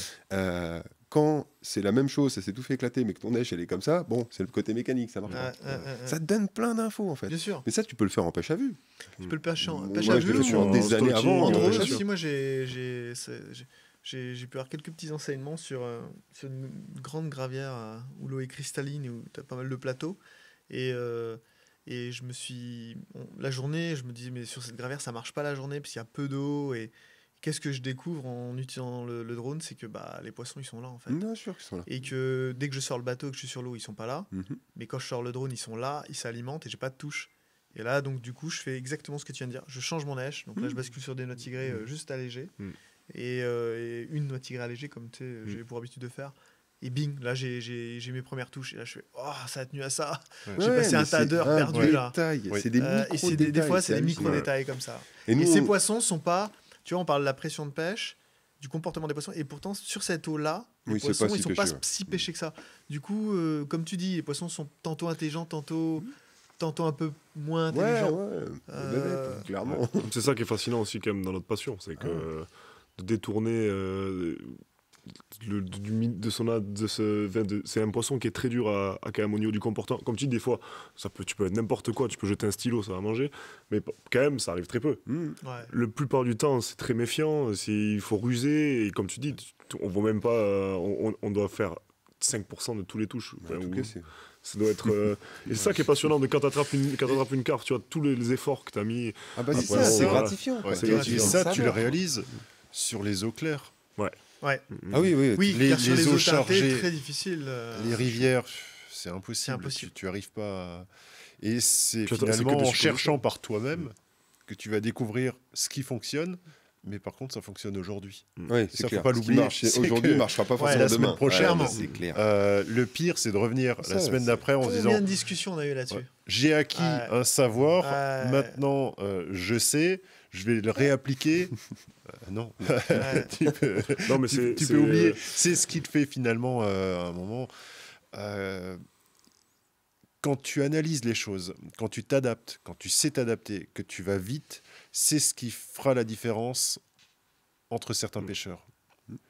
Effectivement. ouais. Que tu aies l'expérience ou pas, il y a des jeunes pêcheurs qui savent s'adapter très très vite. Ouais. Il y a des vieux pêcheurs qui s'adaptent pas du tout. C'est plus une histoire de d'expérience, d'âge, de dire ouais moi j'ai pêché. Non, non, je Non, pense que c'est rien du tout. un- Si tu sais pas t'adapter, Mm. tu sais quoi? Puis t'as le sens de l'eau aussi, hein, quand tu le sens ou pas. Ouais, mais ce sens de l'eau, Mm. à mon avis, il est lié à cette Ouais, adaptation. bien sûr. hein. Mm. C'est compatible. c'est voilà, c'est un truc qui se fait. Et on le disait avant, ça s'apprend quand tu es petit. C'est quand tu es petit que tu, com- tu comprends que tu développes tout ça facilement et tu l'assimiles. ouais. C'est plus facile. Ouais. ouais. Quand tu es plus âgé, ah, c'est beaucoup plus compliqué. On arrive moins à t'éveiller. Tu as moins euh, cette envie d'apprendre. Et tu penses toi-même que tu sais déjà Oui, et que voilà, oui, oui. finalement pas besoin Encore une fois, d'apprendre c'est une question hein. d'ego en fait. C'est Toi, tout. tu- hein. Tu te prends pour quelqu'un, C'est tout. quel qu'il soit, Mhm. et tu vas accepter plus ou moins les choses qu'on va te dire. Quoi. Et, et du coup, donc, juste pour euh, si on se situe sur le, les conséquences de la pêche, donc là, on a vu pas mal les effets négatifs. Mm. Euh, Il y en a sans doute d'autres hein, qu'on n'a peut-être pas abordés, Ouais, mais je pense qu'on a abordé les Ouais, principaux. Après, la question, c'est est-ce qu'il a pas, euh, est-ce que la pression de pêche apporte pas du positif Est-ce que ça n'amène pas du Bah, positif Pour le, le biotope et pour euh, les poissons, moi je te dirais non. Après, euh, pour les petits commerces du coin, ouais. euh, Pour le tourisme, pour le du tourisme, coup, ouais. les restaurants, euh, tout ça. voilà. Pour le pêcheur en lui-même, ouais. Parce qu'il y a même plein de poissons, en fait. Enfin, il y a plein de lacs. Avec la pression de pêche, tu découvres des poissons que tu voyais jamais avant. C'est ce que je voulais. Donc, euh, a- pour le que- plaisir du pêcheur, ouais. ouais, ça peut être bien aussi. mais On bon. en discutait juste euh, avec Thierry. Euh, est-ce qu'il a pas, est-ce que, est-ce que la pression de pêche, dans les effets positifs, il doit y en avoir, et donc on, c'est vrai que je me suis questionné. euh, j'ai est-ce qu'il y a du positif à la pression de pêche C'est pas très simple comme ça. C'est dur quand Et, même. hein. et- et en fait, euh, et finalement, on, Thierry me disait, mais finalement, avec la pression de pêche, il y a plus de pêcheurs au bord de l'eau, et du coup, bah, les eaux sont plus pêchées, donc l'information circule plus, et finalement, ça nous ouvre d'autres horizons. Est-ce que c'est pas ça finalement peut-être le un des points positifs? Ouais, mais après, ça dépend encore une fois de la, per- de la perception que tu as du truc. Tu vois. Moi, quel- moi qui suis quelqu'un qui fuit les infos, Jeff aussi. moi, c'est- c'est- c'est un parasite, mais les en fait, infos- moi, d'avoir des Ouais. infos. Ouais, mais les infos, c'est. T'as info et info. Le simple fait de savoir déjà qu'il y a, euh, je sais pas, euh, des carpes dans des lacs euh, alpins ou volcaniques, Hmm. Bah, euh, t'aurais peut-être jamais eu, même si t'avais envie de plein de découvertes, t'aurais peut-être jamais eu l'envie d'y aller si t'avais pas eu l'idée, si t'avais pas eu entendu, ne serait-ce que. Bah, il y a des poissons et en plus, tu pourrais peut-être avoir des surprises, tu vois. C'est possible parce qu'on on est tous influencés par euh, Mm. ce- Donc, tu vois, ouais. On peut pas Tu vois, fermer nos si oreilles. t'as été dans l'Est, c'est bien parce que t'as eu une brive d'infos, malgré Ouais. tout. Bah, Tu on veux en a- que je te moi j'en ai un eu. truc Regarde. Moi, j'en ai eu sans le- les le chercher. premier- Non, mais d'accord. Tu vois ce que je veux dire? On Moi, savait le- déjà. L'info que je sais, c'est Déjà, tu savais qu'à. Sarulesti, Ouais. bah, déjà tu savais qu'à Voilà. sur Oui, donc, oui, Sarulesti, D'accord, là-dessus, je suis dans les années sur ça. 2000, Mais- que euh, produisait déjà des monstres. Donc tu savais déjà que dans l'est, Certes, euh, il se passait quelque chose. t'as pas sur le lac précis. Et tu savais que la carpe, pour te donner un exemple, le premier lac qu'on a pêché il y a 6 ans, ouais, le premier, on a plongé dedans pendant deux jours. On a fait tout le lac. On a fouiné comme des malades, tu vois, Ouais. pour trouver des perches comme ça, des chevennes maigres. Il n'y avait pas de carpe dedans. Il n'y en avait pas. Ouais. On a passé Non, mais- jours. Mm. Alors qu'il y a un certain Samir qui nous avait dit là-bas, grosse commune. hein. ouais. Mais tu vois, en fait, Ouais, en merci. vrai, Alors que je lui ai dit, s'il te plaît, me dis rien. Il Ouais. dit grosse commune. Ouais, ouais, les grosses En fait, je pense qu'il y a- grosses- y a ouais. info et info, tu vois. Il y a se lancer à corps perdu. euh, euh, imagine dans un pays euh, sans zéro, avec zéro info, sans même une brive d'info qui pourrait y avoir, pourrait y avoir des, des belles carpes, euh, et, euh, et, euh, et avoir toutes les infos sur faut pêcher sur tel spot et mettre ta canne à 80 mètres. Là, je comprends. Là, C'est on est sur autre chose. Euh, Au moins, mais du coup, dans les points positifs, vous êtes, vous êtes d'accord là-dessus qu'il y a est-ce que, est-ce que ça serait un point positif si on devait en trouver un ou pas? Pour moi, ça Le grossissement être- des poissons, je sais pas. Moi, je me dis pression de pêche bon. égale appât Ouais, égale mais grossissement des poissons. bon. Est-ce que c'est un point positif? Le grossissement des poissons, c'est juste pour euh, l'ego des pêcheurs. Encore une fois, C'est c'est pour rien d'autre. hein. Ouais. C'est pour Finalement, le poisson, il n'y a pas vraiment de positif. Par contre, pour le pêcheur, oui, on peut en trouver. Euh, J'en reviens souvent à ça parce que c'est des choses qui m'ont marqué. Euh, Bienvenue, qui était Ouais. devenu un des plus grands poissons Ouais. d'Orient, Ouais. Avait été prise par Léon déjà dans les années 90. Ouais. Il disait lui-même qu'elle avait la capacité, capacité de devenir une très grande carpe. Ouais. Et pour lui, à cette époque-là, je pense que c'était un trophée. Ouais. Finalement, qu'elle se fasse prendre 10 ans plus tard à plus de 30 kilos. Par Jean-Pierre par Jean-Pierre euh, notamment. À 33, je crois. Mais Léon, il en avait plus besoin. Il avait eu son Graal, lui, quand il Ouais, l'a eu sûr, à bien sûr. 21 À l'époque.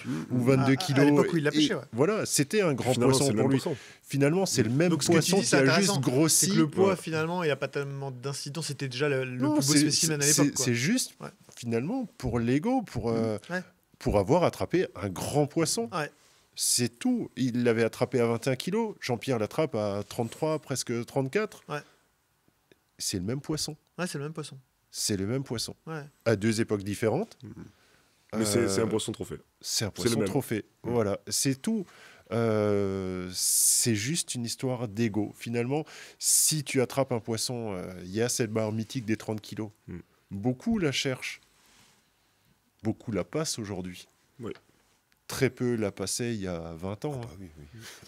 Aujourd'hui, euh, beaucoup la passent. main. tu peux aller dans presque chaque privé, il y a un poisson trophée qui atteint ces poids-là. Euh, tu vas dans n'importe quelle gravière, il y a des poissons trophées qui sont des poissons énormes. C'est dû à la pression de pêche, l'apport de nourriture. Euh, Il y a une eau Perrier. À un moment, Perrier, c'était le summum des grands poissons. Ouais. Des gros fallait fallait voir poissons. ce que c'était, hein, c'était un trois pisses. hein. Oh oui. Bien sûr. Euh, Et- non, c'est- Et Ah oui. tu sais quoi, le jour où Perrier a été euh, interdit aux pêcheurs, quelques pêcheurs y sont retournés après, les poissons avaient tous maigri. Ouais, ouais. ouais. C'était les mêmes poissons. Donc finalement, on l'attrapait à 25 kilos ou à 35, c'est le même poisson.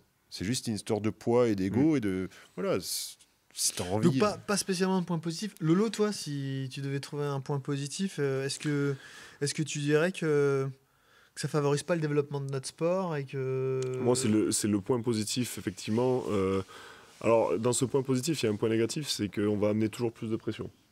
Donc, euh, mais effectivement, euh, nous, ce qu'on a envie souvent de, de faire transparaître dans ce, dans ce milieu de la pêche à la carpe, c'est que c'est pas un milieu de beauf, tu vois.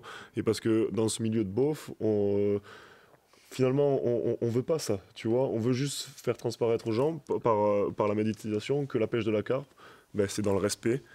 Euh, qu'on peut aussi éduquer les gens à faire attention aux poissons, euh, euh, peut prendre du plaisir à juste être dans la nature, même sans attraper du poisson. C'est tout un environnement qui dans cette pêche, tu vois, et, que j'aimerais mettre en avant. Mais oui, effectivement, dans ça, si tu veux mettre en avant en méditisant, forcément, ça va amener de la pression de pêche.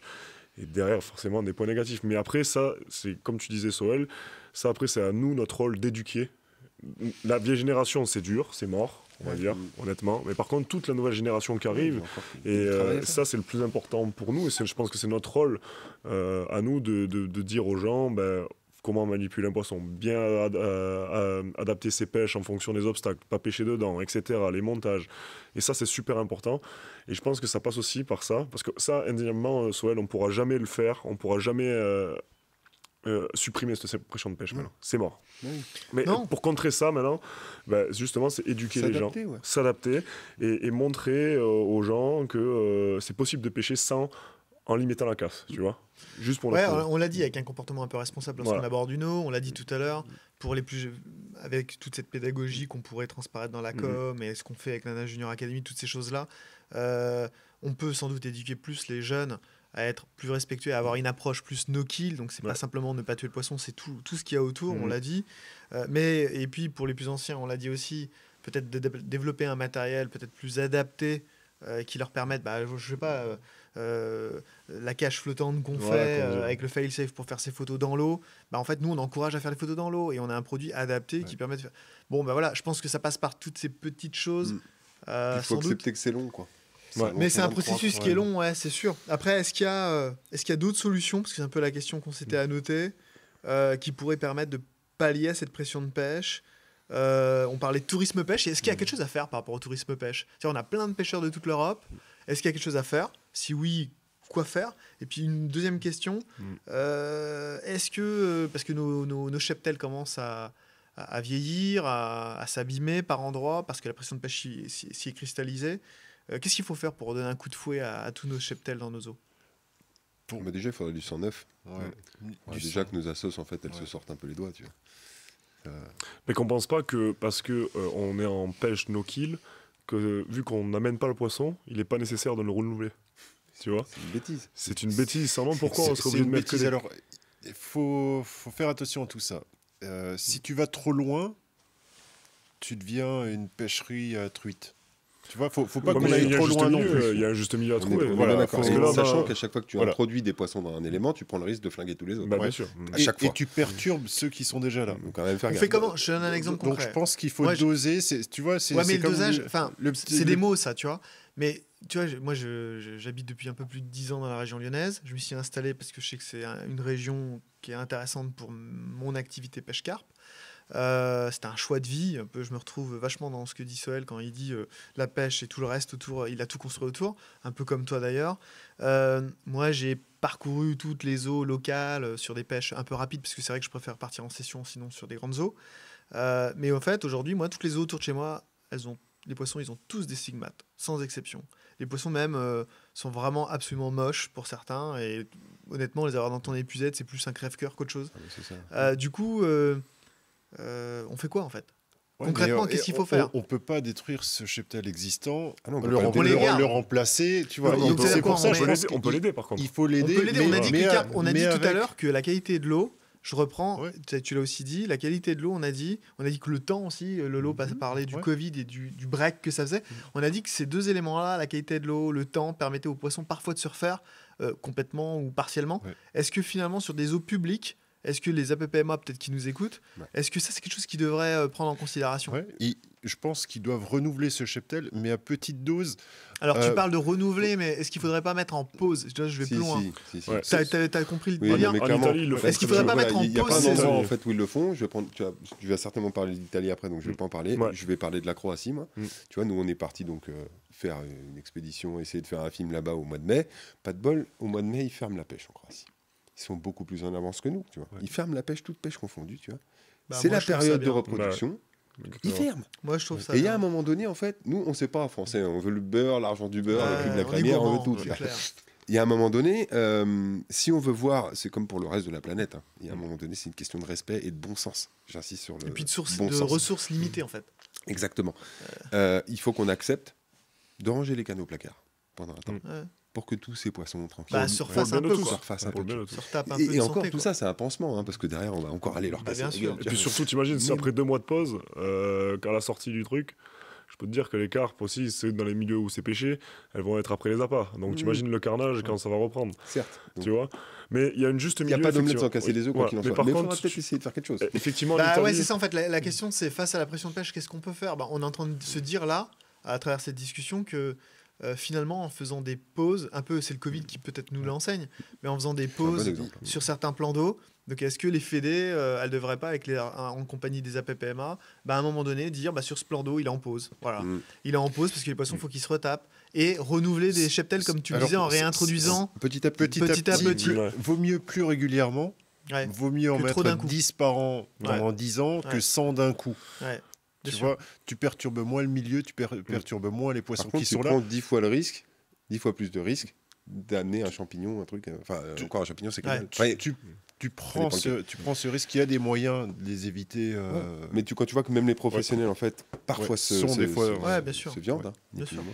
Euh, et il y a une chose qui serait, euh, bah, ça, ça serait le Graal, parce que là, tu remets tout à zéro. C'est la pêche de nuit sur le territoire en totalité. Donc toi, tu dis, on ouvre Là, la tu- pêche tu de dans arriverais- toute la France, on dilue les pêcheurs. dilue les gens. là, ouais. tu arriverais à diluer toute cette masse de Ouais. pêcheurs concentrés sur des endroits un peu partout. Soit ça, soit tu qu'est-ce que fermes tu- partout. Ou tu mais fermes ouais, partout. L'un ou l'autre. Ouais, ouais, Mais si ouais, tu attends, je te provoque un peu. Si tu ouvres partout, bien sûr, c'est- un vieux rêve pour moi, mais j'y crois pre- presque plus. Si on ouvre tout partout, est-ce que toute l'Europe ne débarque pas? Non, parce que tu sais quoi, je pense que celui qui est prêt aujourd'hui à venir pêcher en France. Il vient sur info et il vient à un endroit précis.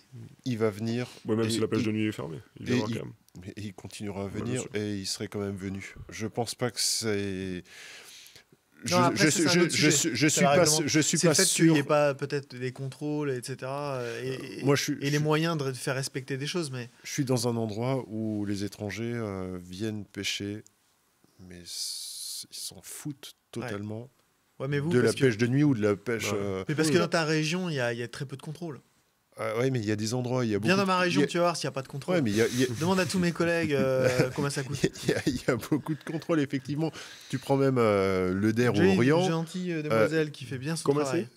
J'ai oublié son prénom, Non, je vais pas la citer, mais hein Amende. Oh bah c'est 450 000. Euh, mais euh, en même temps, tu as des lacs euh, où tu sais qu'il y a une répression qui est forte. Ouais. Euh, Ah, ça protège les lacs, mine de rien. le DER, Orient, Madine, Bien il- sûr que ça il y a des contrôles, mais les gars, ils viennent quand même parce Oui, qu'ils s'en oui, foutent. d'accord. Un jour, C'est une poignée. un jour, Les Ouais. Un jour, Katia m'a dit- La plupart des mecs, tu leur dis je te confie ton matériel comme cassien, je te prends 450 Hop, boules. ça a marché direct. hein. Ah, quand même, ça calme un peu. Vois, Les prunes, ils s'en foutent un peu. Ouais. Dès que tu prends le matos, euh, là, ça ça, les ça détend. Ça hein. commence à calmer Ouais. un peu, quoi. Donc, euh, Bon, après, euh, la prune, si elle est élevée, ça te détend aussi. Oui. ouais. Tu vois. Il y en a qui ont des grands hein, euh, Après, le, le grand rêve, c'est que tout devienne en- autorisé à la pêche de nuit. Je pense que ça diluerait toute cette masse Donc, de pêcheurs un peu, pêche un de peu nuit, partout. Mettre des plans d'eau un peu en jachère, en pause, pour que les Mm. poissons se reposent. Avoir un comportement plus responsable et no kill.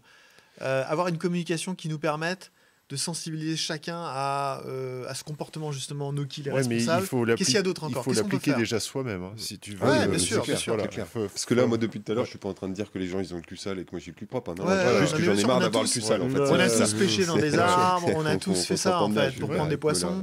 Et on a tous eu ce comportement, mais euh, le fait d'avoir conscience du fait qu'on a eu ce comportement et que ce comportement il est préjudiciable pour les poissons, bah ça c'est déjà, c'est déjà un raisonnement, c'est un peu d'intelligence déjà. Euh, même si je dis pas qu'on est intelligent, mais euh, c'est déjà, euh, c'est déjà quelque Non, mais chose. c'est qu'il y a une réflexion. Et si on peut partager cette expérience-là, on fait gagner du temps en fait à des jeunes, Ouais. des moins jeunes, Ouais. en tout cas des, des Mhm. néophytes. Et, euh, et puis bah, ça fait des poissons en moins cassés. Ouais. Sur le papier. Mais tu sais, pour rebondir sur ce qu'on disait tout à l'heure sur les fermetures de pêche, comme je disais, l'Italie, il me semble que c'est deux mois. Et ils ferment aussi pendant des périodes. hein. C'est-à-dire que là, et, tu te rends compte qu'en Italie, il y a très peu de périodes de pêche. C'est Mhm. par période de deux mois. Ils ouvrent deux mois, ils referment un mois, ils ouvrent deux mois. Et un truc où, où c'est con à dire, mais le il y a certains privés, par exemple, qui ferment six mois. Ouais. Tu vois Et Et c'est ils ont un que- cheptel nickel. C'est pour ça qu'il n'y a pas de Ouais. privé. Tu vois, euh, genre les privés c'est nul, le Mhm. public c'est bien. Il y a- y, y plein de publics maintenant qui, Ouais. avec des cheptels qui sont dans des étapes. Et t'as Bah, pire que le public. Que le privé, que- pardon. t'imagines que Ouais, le, mec, quand même, il ferme 6 mois, dans, Ouais. bah, avec- ou 4 mois, tu vois, dans son Ouais. 4 mois, c'est énorme. hein. Avec des poissons renouvelés. Et- et des poissons euh, enfin, nickel. Hein, par euh, contre, il faut bien se, se comprendre. Et en Italie, ils peuvent le faire parce qu'ils limitent la pression des pêcheurs étrangers. Ouais, parce qu'ils ont, ils ont Si bien en- géré le truc. d'un- Si en jeu. France, Ouais. c'est un tu très bon bloques- exemple. À tu bloques ouais, le mois de mai, mais Mais le, juin, mois de juin, mais tu te fais, euh, tu te dégoûtes toi-même des plans d'eau, puisque là, tu as une invasion. Tout le monde va prendre ses congés au Ouais. mois de juin. Mmh, mmh. Euh, enfin, on est tous dans les starting blocks. Il y a un moment, t'as roulement, envie de- comme tu disais, deux faire mois par-ci, deux tu mois par-là. ils font, ils dans par période. Ouais, mais eux, ils acceptent pas d'autres pêcheurs. Enfin, ou ils limitent. Et pourquoi nous, on accepterait alors? Parce que Parce ça génère du tourisme, parce que euh, voilà, parce que les APPMA ont pas eu envie de sélectionner, ont peut-être même pas le droit de sélectionner Jeff, les Je pêcheurs. qui rebondis juste ce que, ce que disait tout à l'heure euh, Lolo, il y a 5 minutes. Il disait certains privés, et Soel a réagi dessus, ont une tellement meilleure gestion de leur cheptel qu'ils arrivent à retrouver des poissons tout vierges. Pour aller Donc, prendre en euh, exemple. Donc on Voilà. là, c'est le pied de nez à l'idée que le privé, c'est toujours des bouches bleues. Oui, il y a de la bouche bleue, oui, il y a de la queue cassée dans le privé, mais il y a aussi des privés qui gèrent bien leur cheptel et il y a des poissons corrects. Du coup, la, la question qu'on peut se poser, c'est est-ce que les APPMA et les fédés d'aujourd'hui, qui gèrent la pêche comme on la gère, un est-ce que c'est euh, finalement est-ce que c'est eux qui doivent continuer de gérer la pêche en France? Ou est-ce que finalement euh, plus de privatisation, ça serait je te provoque un peu, ça serait plus de, de- une meilleure gestion en fait? C'est chiant de se dire que le privé peut mieux tout gérer. Mais c'est une réalité. Le DER gère mieux son cheptel Hmm. que Pourquoi il y a des gros poissons comme ça parce que le DER, ça génère. Donc la solution demain, c'est on privatise tout partout, il faut payer tout partout. C'est ça? Avec la Il y réservation aura un poste, tu donnes peu ton moins nom. de pêcheurs de. Ouais, ça va Ouais. calmer certains, ouais, je pense. hein. Je, je pense que. Est-ce que c'est- non mais est-ce que pour nos cheptels, parce que si on aime tant les carpes, Oui, est-ce que c'est vers quoi on non, doit se si- diriger? si, on aime tant les carpes, On les pêche pas. voilà, on est d'accord. Tu les observes d'un arbre, tu Ouais. planches si tu veux. Et tu les prends. Je te dis, déjà, tu les en amorcer drone. et les faire manger tes appâts, c'est déjà le, Ouais. le gros du taf. Ouais, Ouais, bien c'est sûr. vrai. déjà cool. Et donc finalement, tu les prends en drone, tu les prends en subaquatique, tu les prends sur ton amorçage, mais tu les pêches pas. Donc voilà, si tu veux réellement aller au bout du bout, tu on la les connaît pêches pas. tous, hein, la solution. Voilà. ouais. Donc je pense que essayer de trouver ces solutions, c'est bah, limiter la pression de pêche sur certains lacs. On- On n'y est pas allé à Saint-Cassien quand il fallait attendre euh, Mm. 3 jours, 4 jours, 5 jours derrière euh, des pêcheurs pour reprendre un poste. Euh, de c'est à chacun de. Mais c'est du trouver- bon sens. Ouais, Et à un moment donné, il faut, faut, On est Ouais, de mais- passage sur cette planète. Si on peut éviter de chier sur le tapis, c'est mieux. Malheureusement, euh, les gens qui ont du bon sens à ce niveau-là, euh, c'est de plus en plus rare quand même. Bah oui, parce que la euh, société mais- cultive ça. Ouais, La société Tout, tout de cultive, suite. chacun veut son moment de gloire. En plus. Finalement, les médias, qu'est-ce qu'ils ont apporté? Que un moment de gloire éphémère pour chaque pêcheur. Mm. Je sais pas. tu- je- non, non, tu je- crées- je- C'est quoi, moi je prends l'engagement maintenant là. même. Tu vois, dès, dès- dès ce soir, je prends l'engagement. On va faire un max de com sur les soins le- du poisson dès cette année. C'est super. Je suis Ouais. content. Et On en avait parlé il y a pas longtemps On avait parlé il y a pas longtemps, mais Ouais. là, là on, prend, on prend le point. On va se faire un draft. On va mettre la, la série de production. Là, je regarde Thierry, ça fait du travail supplémentaire. Euh, et on va se faire euh, une petite série de, de vidéos uniquement sur le soin du poisson pour montrer. Et, euh, et pour- lui, pour remettre, pour pierre à euh, l'édifice. ouais, et pour rendre à. César ce qui était à César, c'est euh, Corentin qui je ne suis même pas sur la discussion WhatsApp du, de notre équipe staff qui a lancé l'idée L'idée 2 de ça, de qu'on devait mettre plus de euh, De soins du poisson de soins du poisson, Ah de ouais. manipulation. Ouais, je sais pas si tu te souviens. ouais. le- si, et si, après si, on avait, on avait enchaîné sur ça. Ouais, donc- parce qu'il avait pêché une le- il avait pêché un lac alpin qui l'avait un peu euh, traumatisé.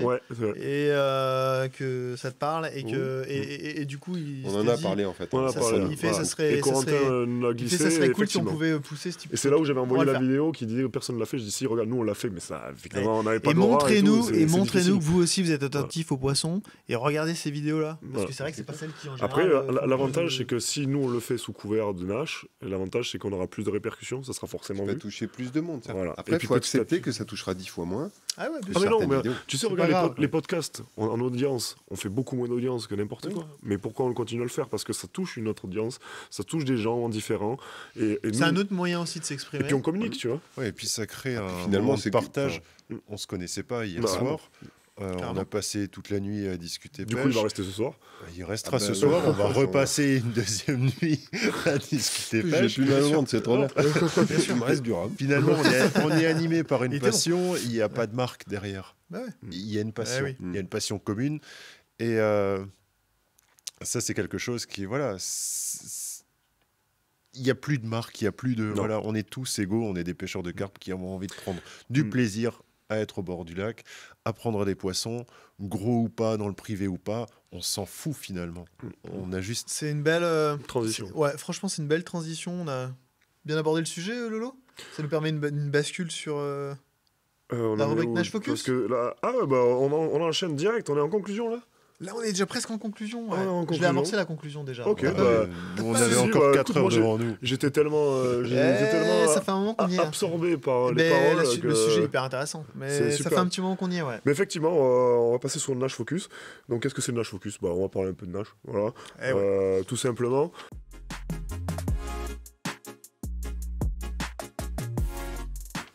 J'ai le plus le poser à Soel parce que, bah, du coup, euh, Jeff, il est chez Nage, donc c'est. Non, mais c'est intéressant de On va, savoir. on va avoir son, c'est vrai que, tu sais quoi, je passe. je- Tu veux basculer On commence par Soel et on fait après Jeff? Ouais, je pense. Faisons ça. Je pense, et, et- et du moins, moi j'aimerais bien Soel, parce que toi tu as eu une vision, tu as été avec Alliance, tu as été, euh, si on peut dire, un peu marginal quand même, de, même si tu as écrit. Mais et je dis, suis un sale con. hein. Non, on va pas dire que tu un sale Ah, con. mais moi, il n'y a pas de problème. Mais tu vois, regarde, Claude, Claude, il s'est souvenu de toi hier à Hmm. Cabanac, euh, avec tes locks et tout. Enfin voilà, tu vois, c'était typiquement, euh, tu étais reconnu pour ça, tu vois. C'est parce que j'avais les cheveux emmêlés. Euh, ouais, ouais. et du coup, toi maintenant, par rapport à ce qui s'est passé, etc., mais maintenant, Mhm. comment tu vois Nash France, tu vois, à l'heure actuelle? Euh, oh, bah, tu me poses une colle parce que euh, concrètement, euh, avant que je vienne là, moi, je sais juste qu'il y a une nouvelle équipe, je sais juste que ça communique beaucoup, je trouve qu'il y a plein de trucs positifs là-dedans. tu vois. Le truc qui me plaît énormément, et ça, c'est ici, là, c'est frais, là, tout de suite, c'est de voir en fait à quel point donc, les sujets sont quand même libres, on peut discuter de plein de choses. Mm. Que ça peut, il peut y avoir quelque chose de con- constructif si vous vous attelez à faire des vidéos là qui auront moins d'au- d'audience mais qui vont être vouées en fait à, à- à du protectionnisme de- Ouais. de, notre milieu. Bah, je, je suis plus heureux, c'est un Mm. truc de dingue. Tu vois, je vois ce pot de pop-up là que Corentin m'a Mm. m'a envoyé, on en parlera un petit peu tout à l'heure. Je, trouve que c'est une super euh, Initiative, une ouais. super initiative. Mais on est Donc à l'origine cool. de. Juste. Après, je, je peux te- pas je te te laisse- parler de Nash, de, de Ouais. ce que vous Ouais, faites bien du sûr. tout comme produit ou coquet, parce que moi j'ai fermé le coffre à jouer il y a 18 ans maintenant. Ouais, Mm. Je dis pas que je le rouvrirai Tu le même matériel et voilà quoi. Et, et voilà. Non, mais Et c'était plus l'esprit Nash France, comment tu eh le ben, voyais, tu vois, écoute, comparé à avant. C'était plus ça, pas le matériel en fonction, tu vois. J'ai pas le recul. Mm. Tu vois, je- je- j'arriverai pas à être objectif, clairement. Euh, je te dis, j'y vois du positif, clairement. Euh, mais je peux pas te dire. Oui, t'as pas le recul, tu peux Ouais, pas. non, tu pas des connais- ouais, tu Mais tu c'est pas même pas assez, en fait que je boycotte Nash, c'est que je regarde que dalle. Ouais, fait. voilà. Ouais. Et encore, En fait, que- t'es- pas trop aux réseaux sociaux, t'es Bah, pas trop. c'est pas trop mon délire. Je sais que j'ai été obligé, entre guillemets, quand je bossais chez DS, euh, vu que j'étais responsable de la communication, et à un moment donné, j'étais obligé. Eh, ouais, voilà, t'es tu vois. d'être un petit peu sur J'ai les du mal à la baler, mais bon, voilà. Hmm. Euh, après, j'ai essayé de m'en protéger à mort de tout ça. Ce qui a amené ton arrêt de deux ans, c'est ça? Ouais, alors, Enfin, c'est un burn-out peu général. ouais, Voilà. Il y a eu un, un trigger, un, déclencheur, mais euh, soit. Euh, mais aujourd'hui, mais ça revient sur ce qu'on disait tout à l'heure, notamment, euh, bah, tout simplement pour cultiver cette part de rêve, j'essaye de regarder un- le minimum Mhm. de choses possibles, parce que concrètement, euh, tout ce que je vais absorber, tout ce que je vais regarder, ça va Ça avoir une t'éloigne un peu influence. Ouais, Ouais. ça va avoir une influence dans, dans- dans mes choix, dans ce que je vais faire, dans plein de choses comme. Donc j'essaye de m'en protéger. Euh, donc voilà. Donc oui, je suis pas trop à la page. Et puis il faut, faut, faut dire ce qu'il y est. Euh, maintenant, autant, tu vois, il y a 10 ans quand je faisais mes petits clips et tout, machin, j'ai fait ça parce que je trouvais rien l'hiver à me mettre sous la dent quand je voulais regarder des vidéos de Mm. pêche. Ah, maintenant, Ouais. t'as t'as le choix. Maintenant, c'est un truc de malade. Ouais. Ça le part dans monde tous les sens, Ça. La communication vidéo, c'est le fer de lance. quoi. Ouais. Et, euh, et du coup, tu trouves de, de tout et de rien. Il y a, il y a des trucs qui sont très bien Mm. et qui d'ailleurs ont très peu de vues. Mm. Il y a des trucs Souvent. qui passent à travers Ouais. comme ça. Et par contre, des bouts en fait qui sont vus euh, Bah oui. Et oui. à outrance. Eh oui. Et tu vois, ça, c'est ce qui me, ce qui, ce qui m'affecte un petit peu, tu vois. Et c'est ça qui me fait dire que ça serait bien de, d'essayer de, de, de changer un petit peu ce mode de communication, parce que les pauvres jeunes maintenant, euh, et quand je dis jeunes, c'est jeunes et moins jeunes, c'est ceux qui commencent. je trouve qu'il y a une mauvaise influence. On baigne dans le faux, tu vois. Euh, Dabaz et Black Bull en- dans les années 2000 euh, disaient ça, euh, c'est un morceau, enfin c'est un groupe qui s'appelle Triptych. On baigne dans le faux, on est dans l'apparence, on cultive ça en permanence, on dénigre le travail. On cherche plus du tout en fait à, à mettre ça en avant. C'est tout tout de suite, comme on disait, Ouais. un beau packaging. C'est un, Ouais. on a un beau pa- paquet cadeau dans un- une boîte vide. Et moi je trouve ça dommage. Et quand je vois des gens qui carrément vont aller euh, entre guillemets s'inventer des vies, ça a toujours été. Hein. Oui. Mais, quand, clairement tu proposes des vidéos, que tu annonces des endroits que tu vas pêcher, que c'est pas là-bas, ou que tu vas dire que tu vas faire du pioneering à tel endroit, machin, alors qu'en fait tu es allé craver des gamins, frère, arrête tout. Ouais. ouais. Ouais, ouais. Je sais pas, tu vois, je joue au tiercé, je sais pas. Ouais. Fais autre chose, s'il te plaît. Bah ouais, ouais, c'est. C'est comme, ça. Voilà, C'est notre société, c'est le monde actuel. euh, Bon, bah, faut accepter de vivre avec. Mm. Euh, moi, je sais qu'il y a- il y, a bien longtemps maintenant que j'arrête de me prendre la tête. Et là, c'est pas que dans la pêche, c'est Mm. dans- sur l'état de notre planète en général et ce qu'on en fait. J'arrête de trop réfléchir à ce que je dors plus la nuit. Mm. Je, je- je me sens coupable et acteur de tout ce bordel en permanence, tout ce que je fais.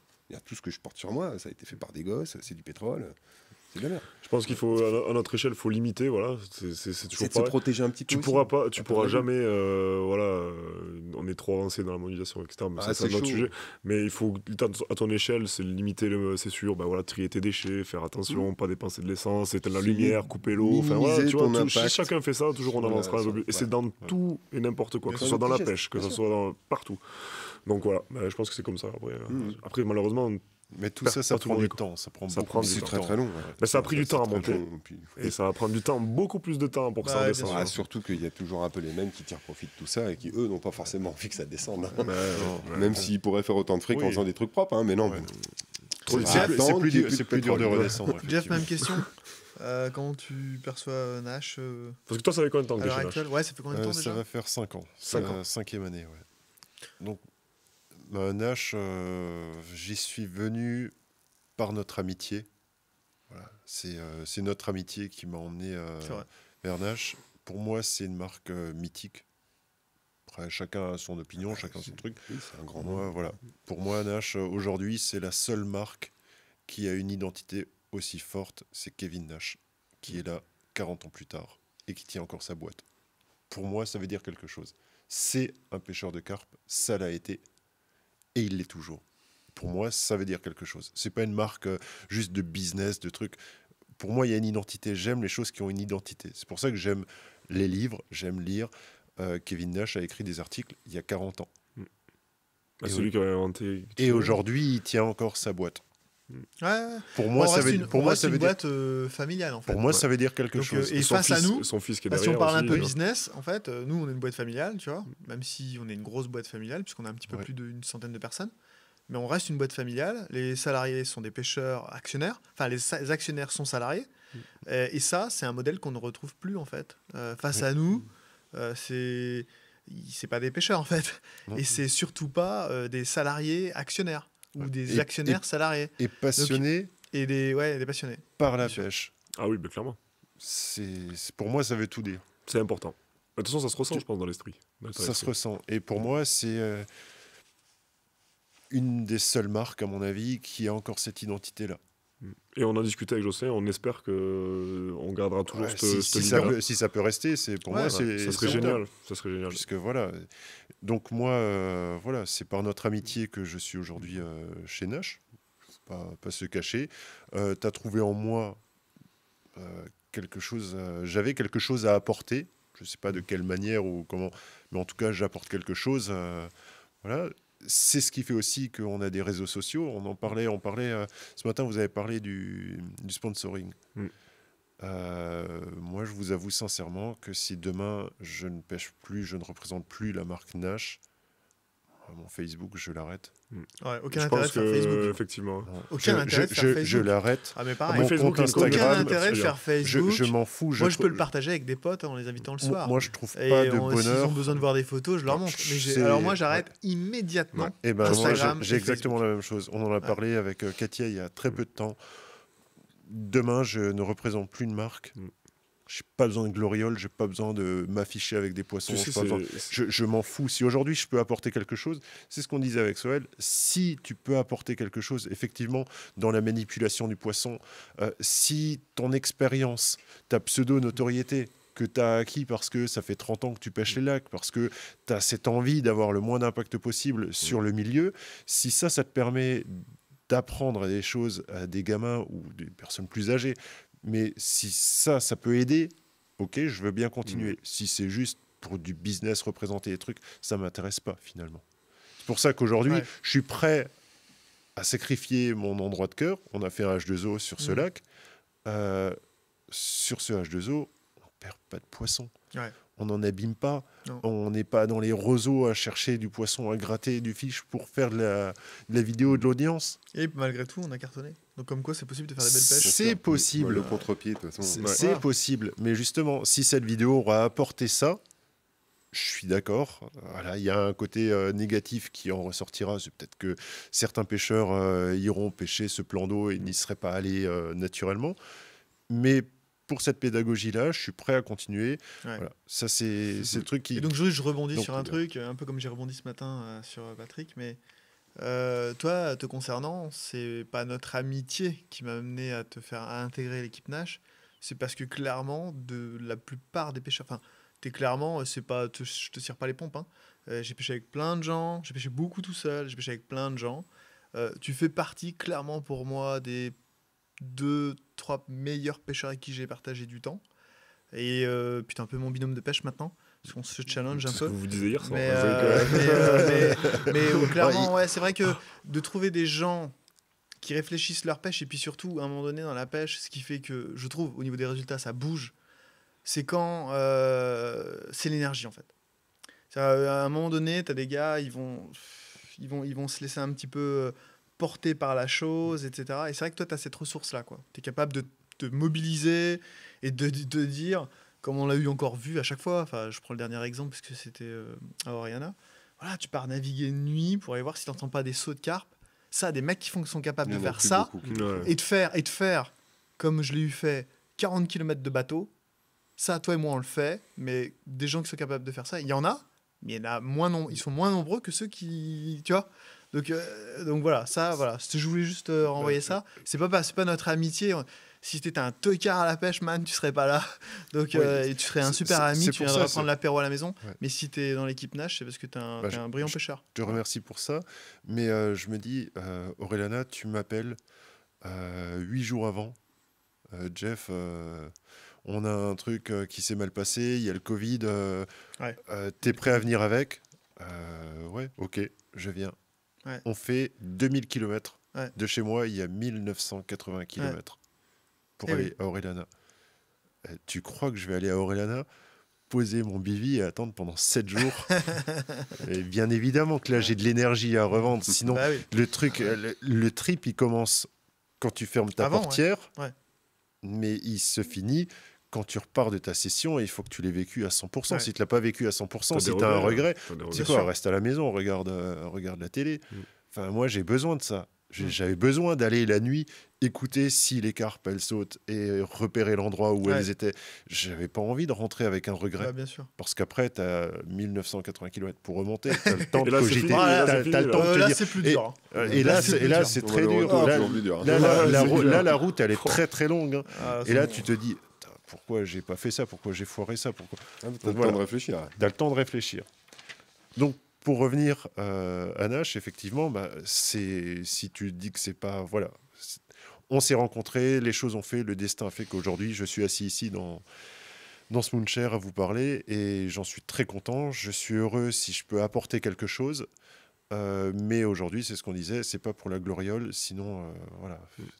C'est éphémère, c'est un feu de paille, ça monte, c'est- ça s'éteint et puis c'est fini. De toute façon, c'est typiquement ce qu'on voit sur les réseaux sociaux.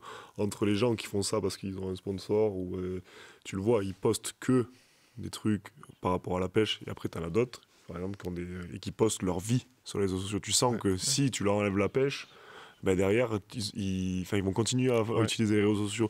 Et ça, c'est pas terrible parce que soit le un disait aussi, c'est c'est dans le paraître, c'est que dans le utiliser les réseaux, s'inventer une vie et tout ça. Et ça, c'est pas bon. Nous, on le fait généralement. Ben, on le fait parce que ça fait partie de notre métier, de notre On a, on a aussi, faut pas, faut pas qu'on se mente non plus à nous-mêmes.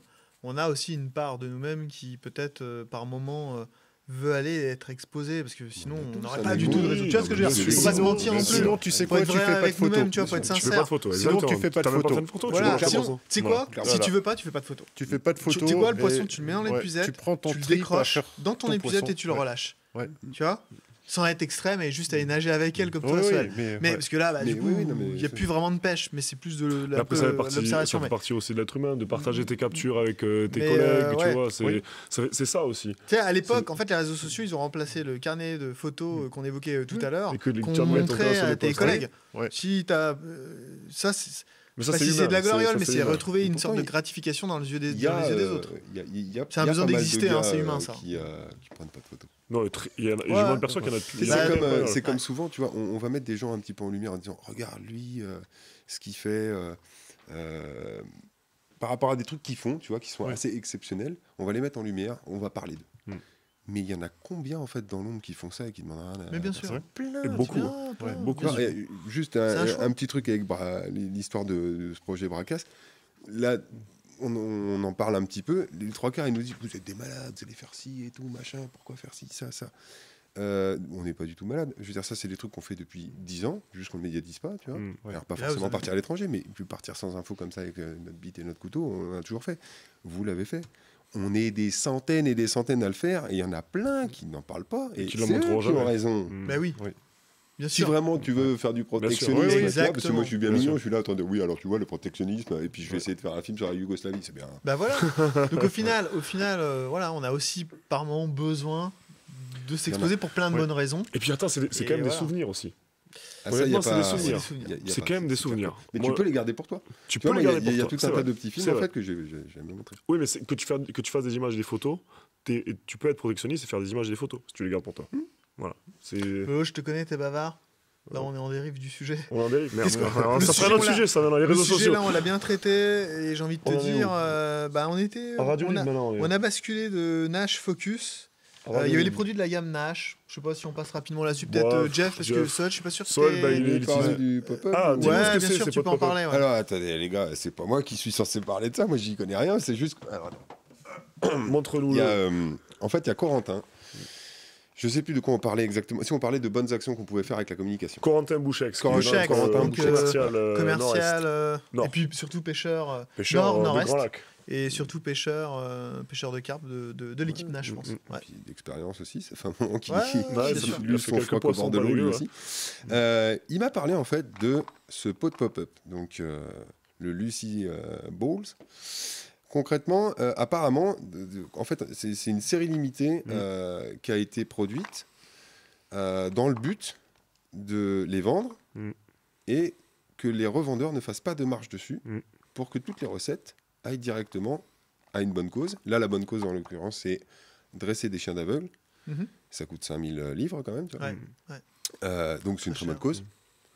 Cause. Euh, Il y a un truc qui est dramatique, c'est qu'apparemment ça a été proposé euh, dans plein de pays en Europe, à peu près partout ça s'est vendu, sauf en France. Il n'y a pas un revendeur français qui a acheté ces petits pots.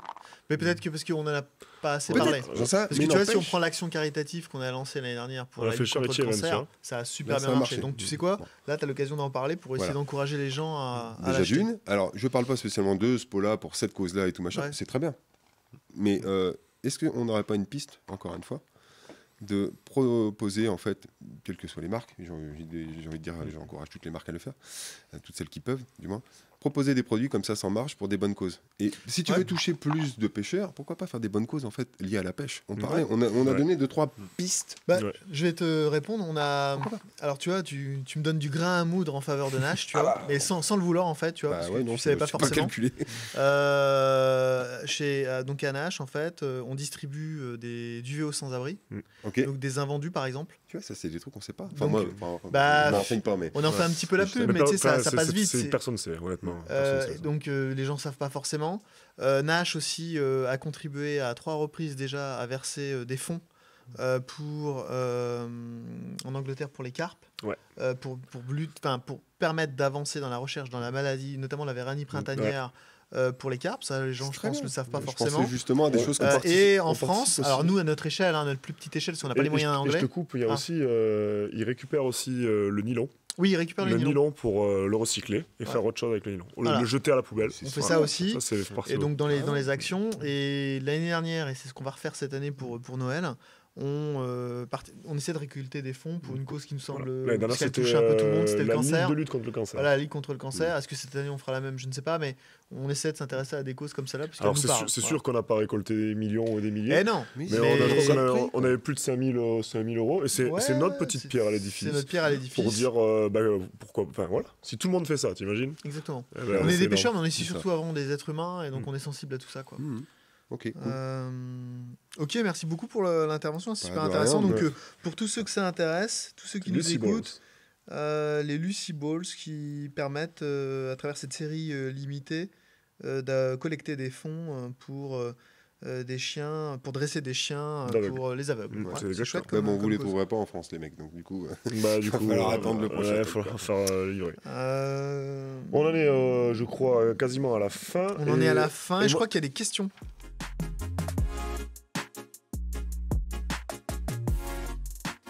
Parce que Formidable, la technologie. en- ah ouais, tu On sais, est chez nous, on est très très quand pros. Bientôt on se présente, euh, on se présente à une radio bientôt. On est euh, très très Quand pro. tu m'as dit que t'allais m'envoyer un, un mémo, j'ai dit. Je te l'ai envoyé ça- Oui, tu me l'as envoyé, ouais. Tu l'as lu Et j'ai dit, bah non. et je me suis dit, oh, super, une anti-sèche. Et bah voilà. Mais heureusement, Jeff, il, il- entre- bah, un peu tard hier, je lui ai demandé, au fait, euh, ouais, je lui ai demandé de me rappeler le thème. J'avais un peu bouffé le le téléphone. Je savais plus si on était là pour parler des castors herma- hermaphrodites. Tu vois, je Ah. savais plus trop, tu vois. Et euh, donc, il m'a rappelé le thème et puis il m'a dit un peu comment ça allait se passer. D'ailleurs, c'est cool. Du coup, j'avais un peu moins. euh, j'étais un peu moins. Bah, tu vois, là, là, nous, ce qu'on dit, souvent on le dit sur chaque épisode parce qu'on le fait, c'est qu'on on récolte les commentaires positifs et négatifs. Et on les lit et on y répond. Qu'on a sur nos réseaux. bon. Parce que bah, on, a, on, fait par- enfin, on, a, on le dit toujours, c'est qu'on on, on fait part- on expose sur les réseaux sociaux, Mhm. On- c'est une page publique, etc. Donc on, on doit accepter que ce soit clairement. positif et on doit accepter que ce soit négatif. Et on ne supprime jamais un commentaire, Ouais, on c'est ne masque jamais un commentaire. Je répète juste, sauf s'il est Voilà, ça, voilà. raci- d'ordre raciste, Ouais. une position politique ou sociétale. Euh, ça, c'est pas notre Ça, cas. c'est catégorique. Euh, ça c'est dégage. catégorique. Nous, on Mhm. s'intéresse pas à la politique, pas du tout. On s'intéresse pas euh, aux positions, euh, à, des, à des sujets polémiques euh, sociétales ou encore à des. euh, enfin, Oui, c'est que des j'ai quelques insultes sujets ou des ou des ou des euh, éléments d'ordre euh, religieux et ou euh, racistes. Tout ça, ça nous intéresse pas. Donc ça, ces messages-là peuvent être supprimés. Tout le Mhm. reste, ça reste. Mhm. Donc on accepte d'être critiqué euh, sur notre image, sur notre Bah, pêche. en même sur, temps, il euh, faut quoi. sur Quand nos tu te mets en, produits, en voilà. lumière, faut quand même que tu Faut l'accepter, On va en parler, quoi. Donc on a, on a- honnêtement, on, on est assez content parce qu'on a très peu de commentaires négatifs. Euh, j'ai Et depuis qu'on le fait, je crois qu'il y en a encore de moins en Et moins. ouais, j'ai vraiment épluché et, et- et vraiment ça m'a presque pris une journée honnêtement de remonter tous les posts pendant six Mhm. mois, tous les posts Facebook, Instagram, YouTube Ouais, ça fait du taf. hein. pour retrouver à chaque fois les bons commentaires etc. Et honnêtement c'est très difficile et euh, j'ai même été un peu déçu. Je pensais être tellement t'ai qu'il y ait des commentaires un peu plus de tu vois, et euh, dire ah bah merde, euh, finalement bah, les gars euh, sur Facebook il se passe quoi t'inquiète, euh, on a un plan avec, euh, avec Francky, on va faire un faux compte et on va être Ah, euh, nickel. salaud. euh, Mettez les vieux trucs. salaud. Donc j'ai un point négatif. euh, sur les citrus. Tu vois Et euh, Ouais. c'est toi qui vas y répondre. Parce que Ah. c'est toi- c'était sur ta vidéo sur les citrus. Donc c'est ta vidéo, tu t'y colles. D'accord. Euh, le mec dit full chimique, mets 3 grains de maïs et ça part mieux. Pas facile, ça là. Ah, Bah écoute, euh, Pourquoi comment il s'appelle Ah, pardon. Il s'appelle. Oh là. Pimps de Lu. Pims de Lu. Ça pourrait être typiquement un nom de de Sorel. ça. Pims de Lu, qu'est-ce qu'il dit Pims de Lu? Il dit vous, vous utilisez des bouillettes qui sont chimiques et euh, du coup, si tu pêchais au maïs, tu ferais autant de poissons. C'est ce qu'il dit en gros. Ça partirait mieux, même. Partirait mieux. Ouais. D'accord. Eh ben, Pims de Lu, euh, écoute, euh, si au maïs, t'as euh, plein de résultats, bah super. Moi, ce que J'ai envie de j'embête, te c'est dire, c'est le, full- c'est- c'est le full chimique. Bah, en fait, full chimique, euh, je sais pas ce que tu entends par chimique. Parce que, Euh, mais tout est chimie. Mm, Enfin, mm, J'aimerais juste chimique, resituer euh, Pims de Lu. Pimps de Lu. Euh, Le je sais pas. de Lu et chimique. Euh, Je- voilà, je sais pas, je sais pas si tu été amené à, à faire de la bouillette et à t'intéresser un peu aux produits qui servent à la composition des bouillettes, mais tout est absolument euh, chimique. Et c'est pas parce qu'on va dire d'un produit qu'il est naturel qu'il n'a pas eu même un procédé chimique de transformation. Donc, euh, c'est- en fait, euh, tout est chimique par définition. Donc, euh, Même son nylon de pêche avec lequel il doit pêcher. C'est Ouais, donc pour hein. sa bouillette chimique, c'est pas parce qu'elle sent, et je pense qu'il a ce point de vue-là, Hmm. peut-être peut-être que c'est l'idée qui se fait, c'est parce que ça sent fort et que c'est vrai qu'elles sentent fortes. Mais c'est juste et qu'elles à, ont des- à travers ces- les huiles agrumes. Et, voilà, euh, a- et, et parce qu'il y a ces odeurs fortes là, il se dit c'est très chimique, mais en réalité, elles sont pas plus chimiques celles-ci que nos bouillettes basse carnées par exemple, Exactement. comme la Scopex Squid, Hmm. absolument pas plus chimiques en fait. Donc euh, euh, après, euh, je comprends qu'ils puissent l'imaginer. Mais euh, quand on s'intéresse un peu aux appâts alors, je- et aux arômes, je vais pas rentrer, j'ai déjà eu l'occasion dans des Ouais. podcasts d'expliquer en détail tout ça. Mais si on rentre un petit peu sur qu'est-ce qu'un appât, Mm. c'est quoi un arôme, euh, ben on s'aperçoit très très vite que ben là on est juste en train de parler de chimie. Donc euh, écoute, euh, si tu prends des poissons au maïs, ben moi tu sais, j'adore aussi pêcher au maïs. Mm. Euh, fonce, continue. Mais continue. C'est tout ce qu'on Euh, peut te dire. Je rajoutais juste, c'est pour ça que j'ai pas le- mon droit de parole là-dessus. Non, bien sûr, bien sûr, droit de Non, parole. mais il y a peut-être une autre piste en fait. Euh, bon, là, c'est hyper court comme message, donc Ouais. oui, c'est ouais. difficile de, de vraiment savoir ce qu'il voulait ouais. dire. Mais euh, il parle peut-être en fait du côté quand il dit chimique, Hmm. juste du côté conservateur en fait. Parce que ça, c'est pareil. Quand on Hmm. parlait de no-kill un tout petit peu tout Ouais. à l'heure, faut qu'on fasse gaffe à ce qu'on met dans Ouais. les quantités qu'on met. Il y a plein de choses où on peut- voilà. Et c'est Ouais. vrai que les conservateurs, on le sait tous, c'est quand même du poison pour les poscailles. C'est Alors, hyper pratique. Il y a différents conservateurs. Alors En- attention, il y a différents conservateurs. Carrément. Si- on va pas rentrer dans le pas des terrible. conservateurs, mais Mm. si on prend juste le sorbet de potassium, euh, bah, on en consomme aussi nous. Ouais. Donc euh, en fait, oui, euh, on en C'est met. pas bon on, pour les on organismes. met, on met des conservateurs. Et oui, ça peut avoir une incidence. Aujourd'hui, on la connaît pas vraiment, l'incidence. Oui, Mais on en absorbe aussi, nous, et et puis Si tu prends des plats à la pêche, je suis sûr, tu prends des plats euh, cuisinés prêts à l'emploi, des fois, des choses comme ça ça. m'est arrivé. Et, moi aussi, mais tu je vois. sais très bien que je m'empoisonne. Et on sait que c'est pas, et on sait que c'est pas extraordinairement bon, tu vois, que ça serait mieux d'emmener ses propres pommes de terre, de les éplucher. Mais après, il y a aussi le temps, machin, t'as empêches. Non, mais Donc, il y a un euh, peu de tout. mais je comprends, je comprends ce que tu veux pense dire. y a cette je suis pas, piste-là je, peut-être suis pas, je suis sûr qu'il allait si loin que ça.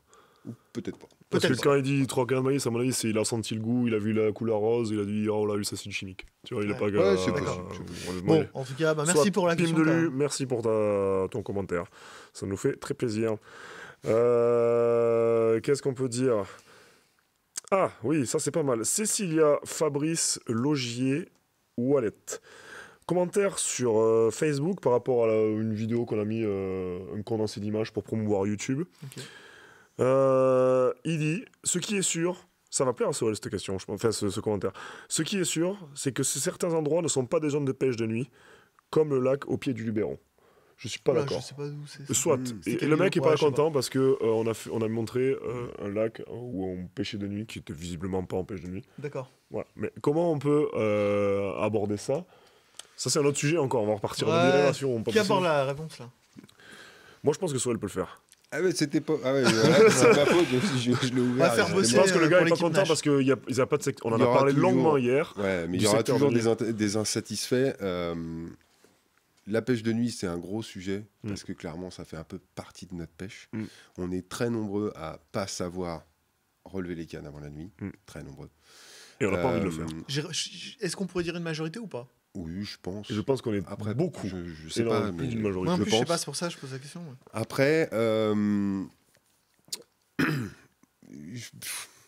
je, pense que c'est pas. Enfin, la pêche de nuit, c'est pas un crime. Je, je comprends qu'il puisse y avoir de la jalousie, en tout cas des gens qui vont être frustrés parce que la loi elle est faite comme ça et eux ils ont un peu peur en fait d'enfreindre la loi et ils vont pas Ils le faire respectent. et donc ils vont être un petit peu jaloux en fait des gens qui vont Hmm. transgresser cette loi. Je comprends. Mm. On est tellement dans encore une fois une société qui nous gargarise complètement, qui nous enferme dans des dans des, des voilà des, des- des règles euh, dans tous les sens. Puis des règles qui ont des fois ni queue ni tête. Pour la plupart, voilà, non, euh, sont, sont vides de sens. C'est ça le problème. Mm. en fait. Donc, je comprends qu'il soit agacé. Je peux pas lui reprocher. Mais euh, ton pseudo est beaucoup trop long, euh, mon copain. Mais Attends, euh, je je te dis, je, pêche Fabrice. partout de nuit euh, et je- j'en ai rien à foutre. Et, euh, et euh, Jeff, tu t'en plein avoir comme ça et c'est pas grave. Après, chacun fait ce qu'il veut, mais chacun est libre, responsable et sans excuse. Exactement. Mon pote Chris, il adore dire ça, et c'est de Sartre, et c'est très juste. À, à partir du moment où tu assumes, déjà, c'est déjà pas trop mal. tu vois. Et ça, puis- ça te. Jeff, qu'est-ce que t'en Euh, moi, je suis totalement d'accord, puisque voilà, je fais partie de ces gens qui n'ont pas envie de rentrer. Si Mm. t'as pas envie de rentrer, donc j'ai eu cette discussion avec, euh, avec Katia, ma compagne. On était sur le bateau cabine. Il faisait nuit, enfin, il commençait à faire nuit. Elle me dit euh, finalement, dans ce que tu fais là, qu'est- qu'est-ce qui te plaît? C'est la transgression parce que tu es en train d'être, euh, entre guillemets, hors la loi ou? Je dis non, je- j'en ai rien à foutre d'être hors la loi. J'ai pas envie de l'être. Et puis on prend aucun plaisir à ça. J'ai pas envie de l'être. Mm. Mais plus. Bah ouais. je suis là sur mon bateau cabine. Je regarde ce coucher de soleil. On est en train de boire une bière ensemble. Si demain le garde a envie de me mettre une prune à cause de ça, qu'ils viennent à côté de moi, qu'ils prennent le temps de boire une bière avec moi, de regarder le coucher de soleil avec moi, et à la fin qu'ils me disent c'est vrai, tu mérites que je te mette une prune. Mm, mm. Et après qu'ils rentrent avec ça qui se couchent avec ça et qui dorment avec ça. Tu sais quoi? On fait rien de mal. On est juste des êtres humains qui sont là une fois sur Terre, qui sont en train de prendre du plaisir et qu'on est en train de vouloir euh, finalement euh, rentrer dans. Et le, De- et le pire du pire, c'est que souvent quand tu prends des prunes, alors que le secteur de nuit il est là, t'es pas dans le secteur de nuit, et toi t'es là, le secteur de nuit il est à 200 mètres, et on te met une prune, alors que Eh t'es ouais. pas dans le secteur de nuit. Tu vois c'est qu'on on- Hier on a discuté longtemps avec Soel par, voilà, par rapport à ça, et dit, moi je ne comprendrai jamais ça en fait. Pourquoi là et pas là Alors que c'est la même eau, tu vois Mais c'est des règles et à un moment la règle elle est règles, là hein. et Ouais, à à un cet moment donné, endroit et pourquoi- C'est pas être la loi. tu Pourquoi vois, une de- autoroute elle est à 130 en Ouais. France? Tu Tu vas en Allemagne et t'as une autoroute libre, tu roules à 250 Ouais. Tu- Non, puis tu- même, enfin, tu- même en France, pourquoi une toute petite départementale Ouais. du Cantal, elle est limitée à 90 alors qu'à 50, tu risques ta vie déjà dans n'importe quel Ouais, virage. Et à côté, tu as une grande ligne droite de ouf Mm. où tu Ouais. pourrais rouler à 130 tranquille. Ouais. Et ben non, c'est 80. Et en plus, il y a des radars tout le long pour bien Ouais. fonctionner. Ça va bien, on les connaît. Pour moi, c'est la même chose. Et, et donc, c'est moment- différent parce que ah, euh, de vitesse, tu mets la vie des gens en danger. Certes, mais là, tu mets la, la vie des gens en danger quand tu mets 80 km/h Non, mais en ça, limite oui. de... oh, dans le Cantal, je te jure. Mais qu'est-ce que je veux dire, c'est que quand tu pêches là ou là, tu. Là, par contre, on est d'accord, Ah, oui, c'est Ouais. pas la comparaison. C'est comme quand tu dis on met la ceinture de sécurité euh, ou le gilet de sauvetage. Mm. Là, c'est. Tu vois, c'est. Euh, c'est c'est un débat, c'est pareil. hein. Le pareil. gilet de sauvetage, euh, c'est la même chose. Exactement. Finalement, c'est à chacun d'accepter le risque, Mais de là, le tu mets- prendre ou de ne pas Mais le tu, prendre. mais tu mets pas la vie de- des gens en danger, tu mets Non, la tu tienne en la- danger. C'est ta Voilà, responsabilité c'est- personnelle. c'est- ta propre vie que tu mets en danger. euh, Les gars, on poursuit les questions Ouais, encore une. encore Encore, une. On fait une positive, les gars. Une Laissez-moi chercher que j'ai pas préparé la. Parce que si on amorce un Bah, autre nous, débat on sur a bossé question, toute et la nuit je sens qu'il le y a l'énergie pour chaque question à alimenter un débat. Et quand je regarde le temps là, qui s'écoule, Non, non, mais nous, nous on a bossé avec. Soel toute la nuit. Oh, on, on- on était au taquet. On remarque que là, tu es venu un peu euh, Ouais, quand même. euh, avec les Ouais, mains dans les poches et que tu as. On approche très sérieusement des 3 heures, les amis. Donc, Ah. euh, Ah Bah, non, mais écoute, on va faire une positive. allez. Euh, podcast numéro 4, Jean-François Bald, qui nous dit Je suis en train de regarder et je trouve que ce podcast est juste magnifique. Ça permet de connaître la vision d'une femme. Là, en l'occurrence, c'était euh, Sur les les femmes, l'épisode d'avant.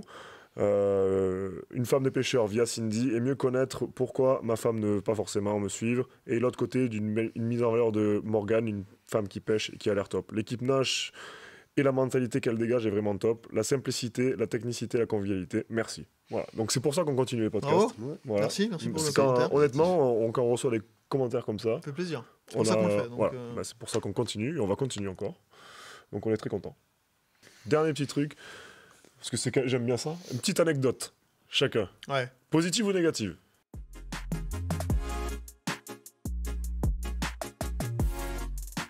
Oh, je Courte. Par contre, Bon, courte. Propose Ouais, On par dépasse pas les 3 heures. Ouais, donc là, on fait quoi? La pire ou les deux? Rapidement les Celle deux? Ah, les deux, une. moi je suis chaud pour les deux. moi. La, la- est pire, je l'ai avec Jocelyn. Je l'ai avec Jocelyn, on foire une session, on amorce, voilà, il n'y a rien qui fonctionne, on gratte un ou deux poissons, euh, ça merde de A à Z. En partant, je crame le moteur de ma bagnole. Je démarre ma voiture et je me retrouve, Rien au- qui va. je me retrouve Ah au bord non, du lac avec, le moteur qui, À est, oublier, euh, qui est mort. à, à prendre ce Et, souvenir. euh, ouais, et ça, c'était vraiment Ouais. euh, une session de Il merde. n'y avait rien et- de rattrapable. Non, Rien. bon, on, on avait Thierry avec nous. Ouais. Black Cat Power On, avait accepté le chat noir. on a accepté jusqu'au bout.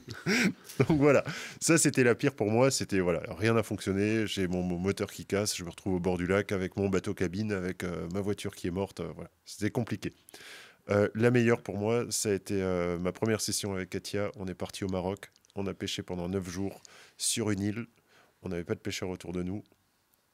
Elle n'a jamais vécu ça. On était déconnectés de tout. On n'utilisait pas nos téléphones. On a appelé nos filles euh, tous les deux jours, trois jours.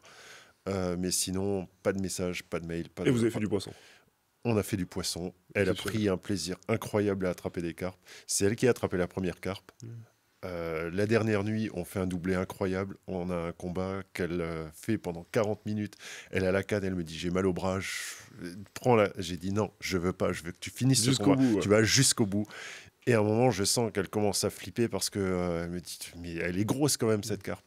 Et je vois la carpe monter une première fois le long du bateau. Et là, je me dis, si là, je lui dis qu'elle est grosse, c'est quoi Elle va mouliner à l'envers, elle va serrer le frein, elle va le desserrer. Voilà, je me suis dit. Et là, au moment où elle la remonte une deuxième fois, je la glisse dans l'épuisette et je lui dis, ouais, c'est une grosse carpe. Effectivement, c'était un souvenir vraiment. euh, carpe ouais. alors? C'était. On est une- curieux. Hein? On est curieux. Combien elle faisait cette carpe? Le, le poids, finalement, c'était une grande carpe. C'était une grande carpe. Mais voilà. finalement, le poids, euh, qu'elle fasse. C'était une euh, grande carpe que tu as partagée avec ta 20 ou 25 ou 30, avec ta c'est- femme. voilà, c'est pas important. C'était le moment et, ouais. et on fait un doublé. On fait une deuxième Ah, grande plus, ouais. cette nuit-là. Et pour moi, ouais, pour moi, c'était le Graal. Et on est arrivé sur, sur, sur cette Mhm. île. C'était euh, un nichoir à oiseaux. Il y Mhm. avait 200 canards qui sont envolés. Il y avait des fientes partout. Euh, J'ai dit, ouais, on prend ce poste-là. Elle a pleuré. Elle s'est dit, mais qu'est-ce que je viens faire ici au Maroc pendant 9 jours avec lui sur une île qui fait Et 50 c'était au mètres. début de votre relation. Ça faisait 6 mois qu'on était Ouais. ensemble. Elle fait 50 mètres de profond, l'île, sur 60 de large. Et là, elle me dit, mais, mais qu'est-ce que je fais là? Hmm. Qu'est-ce que je fais là? Elle a commencé à pleurer et je me suis dit, c'est chaud. Ouais. Et Je me vois pas repartir demain, euh, Ah appeler ouais. le guide et dire, ouais, faut nous ramener au bord. On est reparti de cette île, elle a pleuré aussi. Mm. On est allé faire quelques jours à Marrakech et là, elle me dit, on aurait mieux fait de prendre ces jours-là Ouais, et rester manque, sur ouais. cette île. Et là, le jour-là, je me suis dit, ouais, là, C'est qu'elle a pris C'est la bonne, là, c'est la bonne et elle a pris autant de plaisir que moi j'ai pu en prendre. Et pour moi, là, c'était vraiment euh, un très très bon souvenir.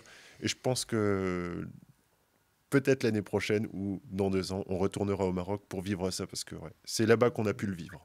Parfait. Soël, Euh, je pense qu'il doit y en avoir quelques-unes. Ouais, mais non, mais justement, ça, je vais pas. Je vais raconter au bord de l'eau. De toute façon, euh, enfin bref. Le- le- le, hum, la pire, c'est extrêmement rapide. J'ai 14 ans, on est à Cabanac. Euh, mon poisson fait un poisson de 13-14 kilos. Classique pour là-bas. Joli, il veut à tout prix faire une photo. Et euh, il veut le faire sur l'espèce de petit plat qui est au-dessus. Tu vois, il monte. Il maîtrise pas le poisson. Le poisson, il a fini en pizza en bas, dans les cailloux. Voilà. Il est reparti, c'était plus. Il manquait beaucoup d'écailles. Je sais pas s'il a survécu ce poisson. Ça, c'est mon pire souvenir. Hmm. Après, des galères, j'en ai eu. Mais c'est- ça fait partie du truc, quoi. Oui, j'ai des mauvais souvenirs, mais on soit. Et dans les meilleurs souvenirs, euh, pff, bah, les gars, euh, choisissez un thème. euh, vous voulez quoi euh, des- Dans un bon du, souvenir. du- du- du bateau, des, des poissons, avec des animaux, avec. euh, on, a, mais on a eu l'anecdote de, de l'ours hier. Ouais, c'est l'ours, cool. c'est marrant. ouais l'ours, c'est marrant, mais c'est long. Ouais. Euh, non, non, franchement, je saurais pas choisir là. Euh, le, genre mon meilleur souvenir, non, je sais pas. Je, je sais pas. Il y en a eu beaucoup. Beaucoup, et c'est ce peut-être le principal. il y a de tout, voilà. Des fois, c'est une capture, des fois, c'est une ambiance, des fois, c'est un voyage, des fois, c'est une rencontre. Des fois, c'est un animal, des fois, c'est un coucher de soleil en particulier. C'est... Et je sais qu'il y en a plein que j'ai oublié. C'est un ensemble, en fait. Ouais. Bah, c'est... Je kiffe bien ma vie quand même. Voilà. Bah, c'est le Quand je peux principal. la ouais. faire, eh, bah, c'est cool. C'est un bon souvenir. Je vis un bon souvenir. Bah super, merci les gars. Merci les gars. Merci à vous. D'avoir participé, euh, votre bonne humeur, euh, vos anecdotes, euh, votre euh, Bah, convivialité. votre convivialité. Honnêtement, on s'est régalé encore une fois. partagé euh, tout ça. Ben, merci de nous avoir invités. J'espère que maintenant, on... on va aller à l'apéro. J'ai soif. que la, que la convivialité euh, continue et Ouais. voilà. Ouais, très bien. Merci les gars. Merci. Euh, nous, on se revoit très vite pour. euh, bah, du coup, ça sera déjà un épisode 7 et 8. Et oui. Et je me demande pas si on verra ça avec Thierry, si on va pas lancer une saison 2. Du coup, Des- on verra, ça, ça euh, à discuter. À discuter. Et, euh, Si vous avez aimé, dites-nous que vous avez aimé. Si voilà, vous avez des idées de sujets que vous voulez aborder, dites-nous ce que vous voulez qu'on aborde. On est ouvert à tout. Et, Et, puis continuez de nous écouter sur voilà. Deezer. Tu App- Deezer, Spotify, euh, Putain, Apple Music Spotify, bien. ouais, euh, et YouTube. Voilà, donc si vous YouTube avez envie de faire de la cuisine, tomber, ça, ça Ah, bah, un truc de ouf. c'est ça. Si vous avez envie de faire de la cuisine, euh, des trajets en voiture, en voiture. vous le mettez en fond et vous écoutez nos grosses voix raconter euh, nos vies Euh, euh, sur un sujet très précis. Et voilà, euh, nous on se régale en tout cas de partager ça avec vous, d'accueillir des gens qui sont très intéressants. exactement. Et, euh, Des gens d'expérience, qui ont des choses à dire. En tout cas, nous, vous nous retrouvez sur YouTube aussi Ouais. pour euh, les prochaines vidéos Nage France, euh. Nage TV France, vous abonnez comme d'hab, on connaît la chose. Et on se retrouve très vite. Merci à tous. À très vite. Merci à vous les gars. Merci. Ciao.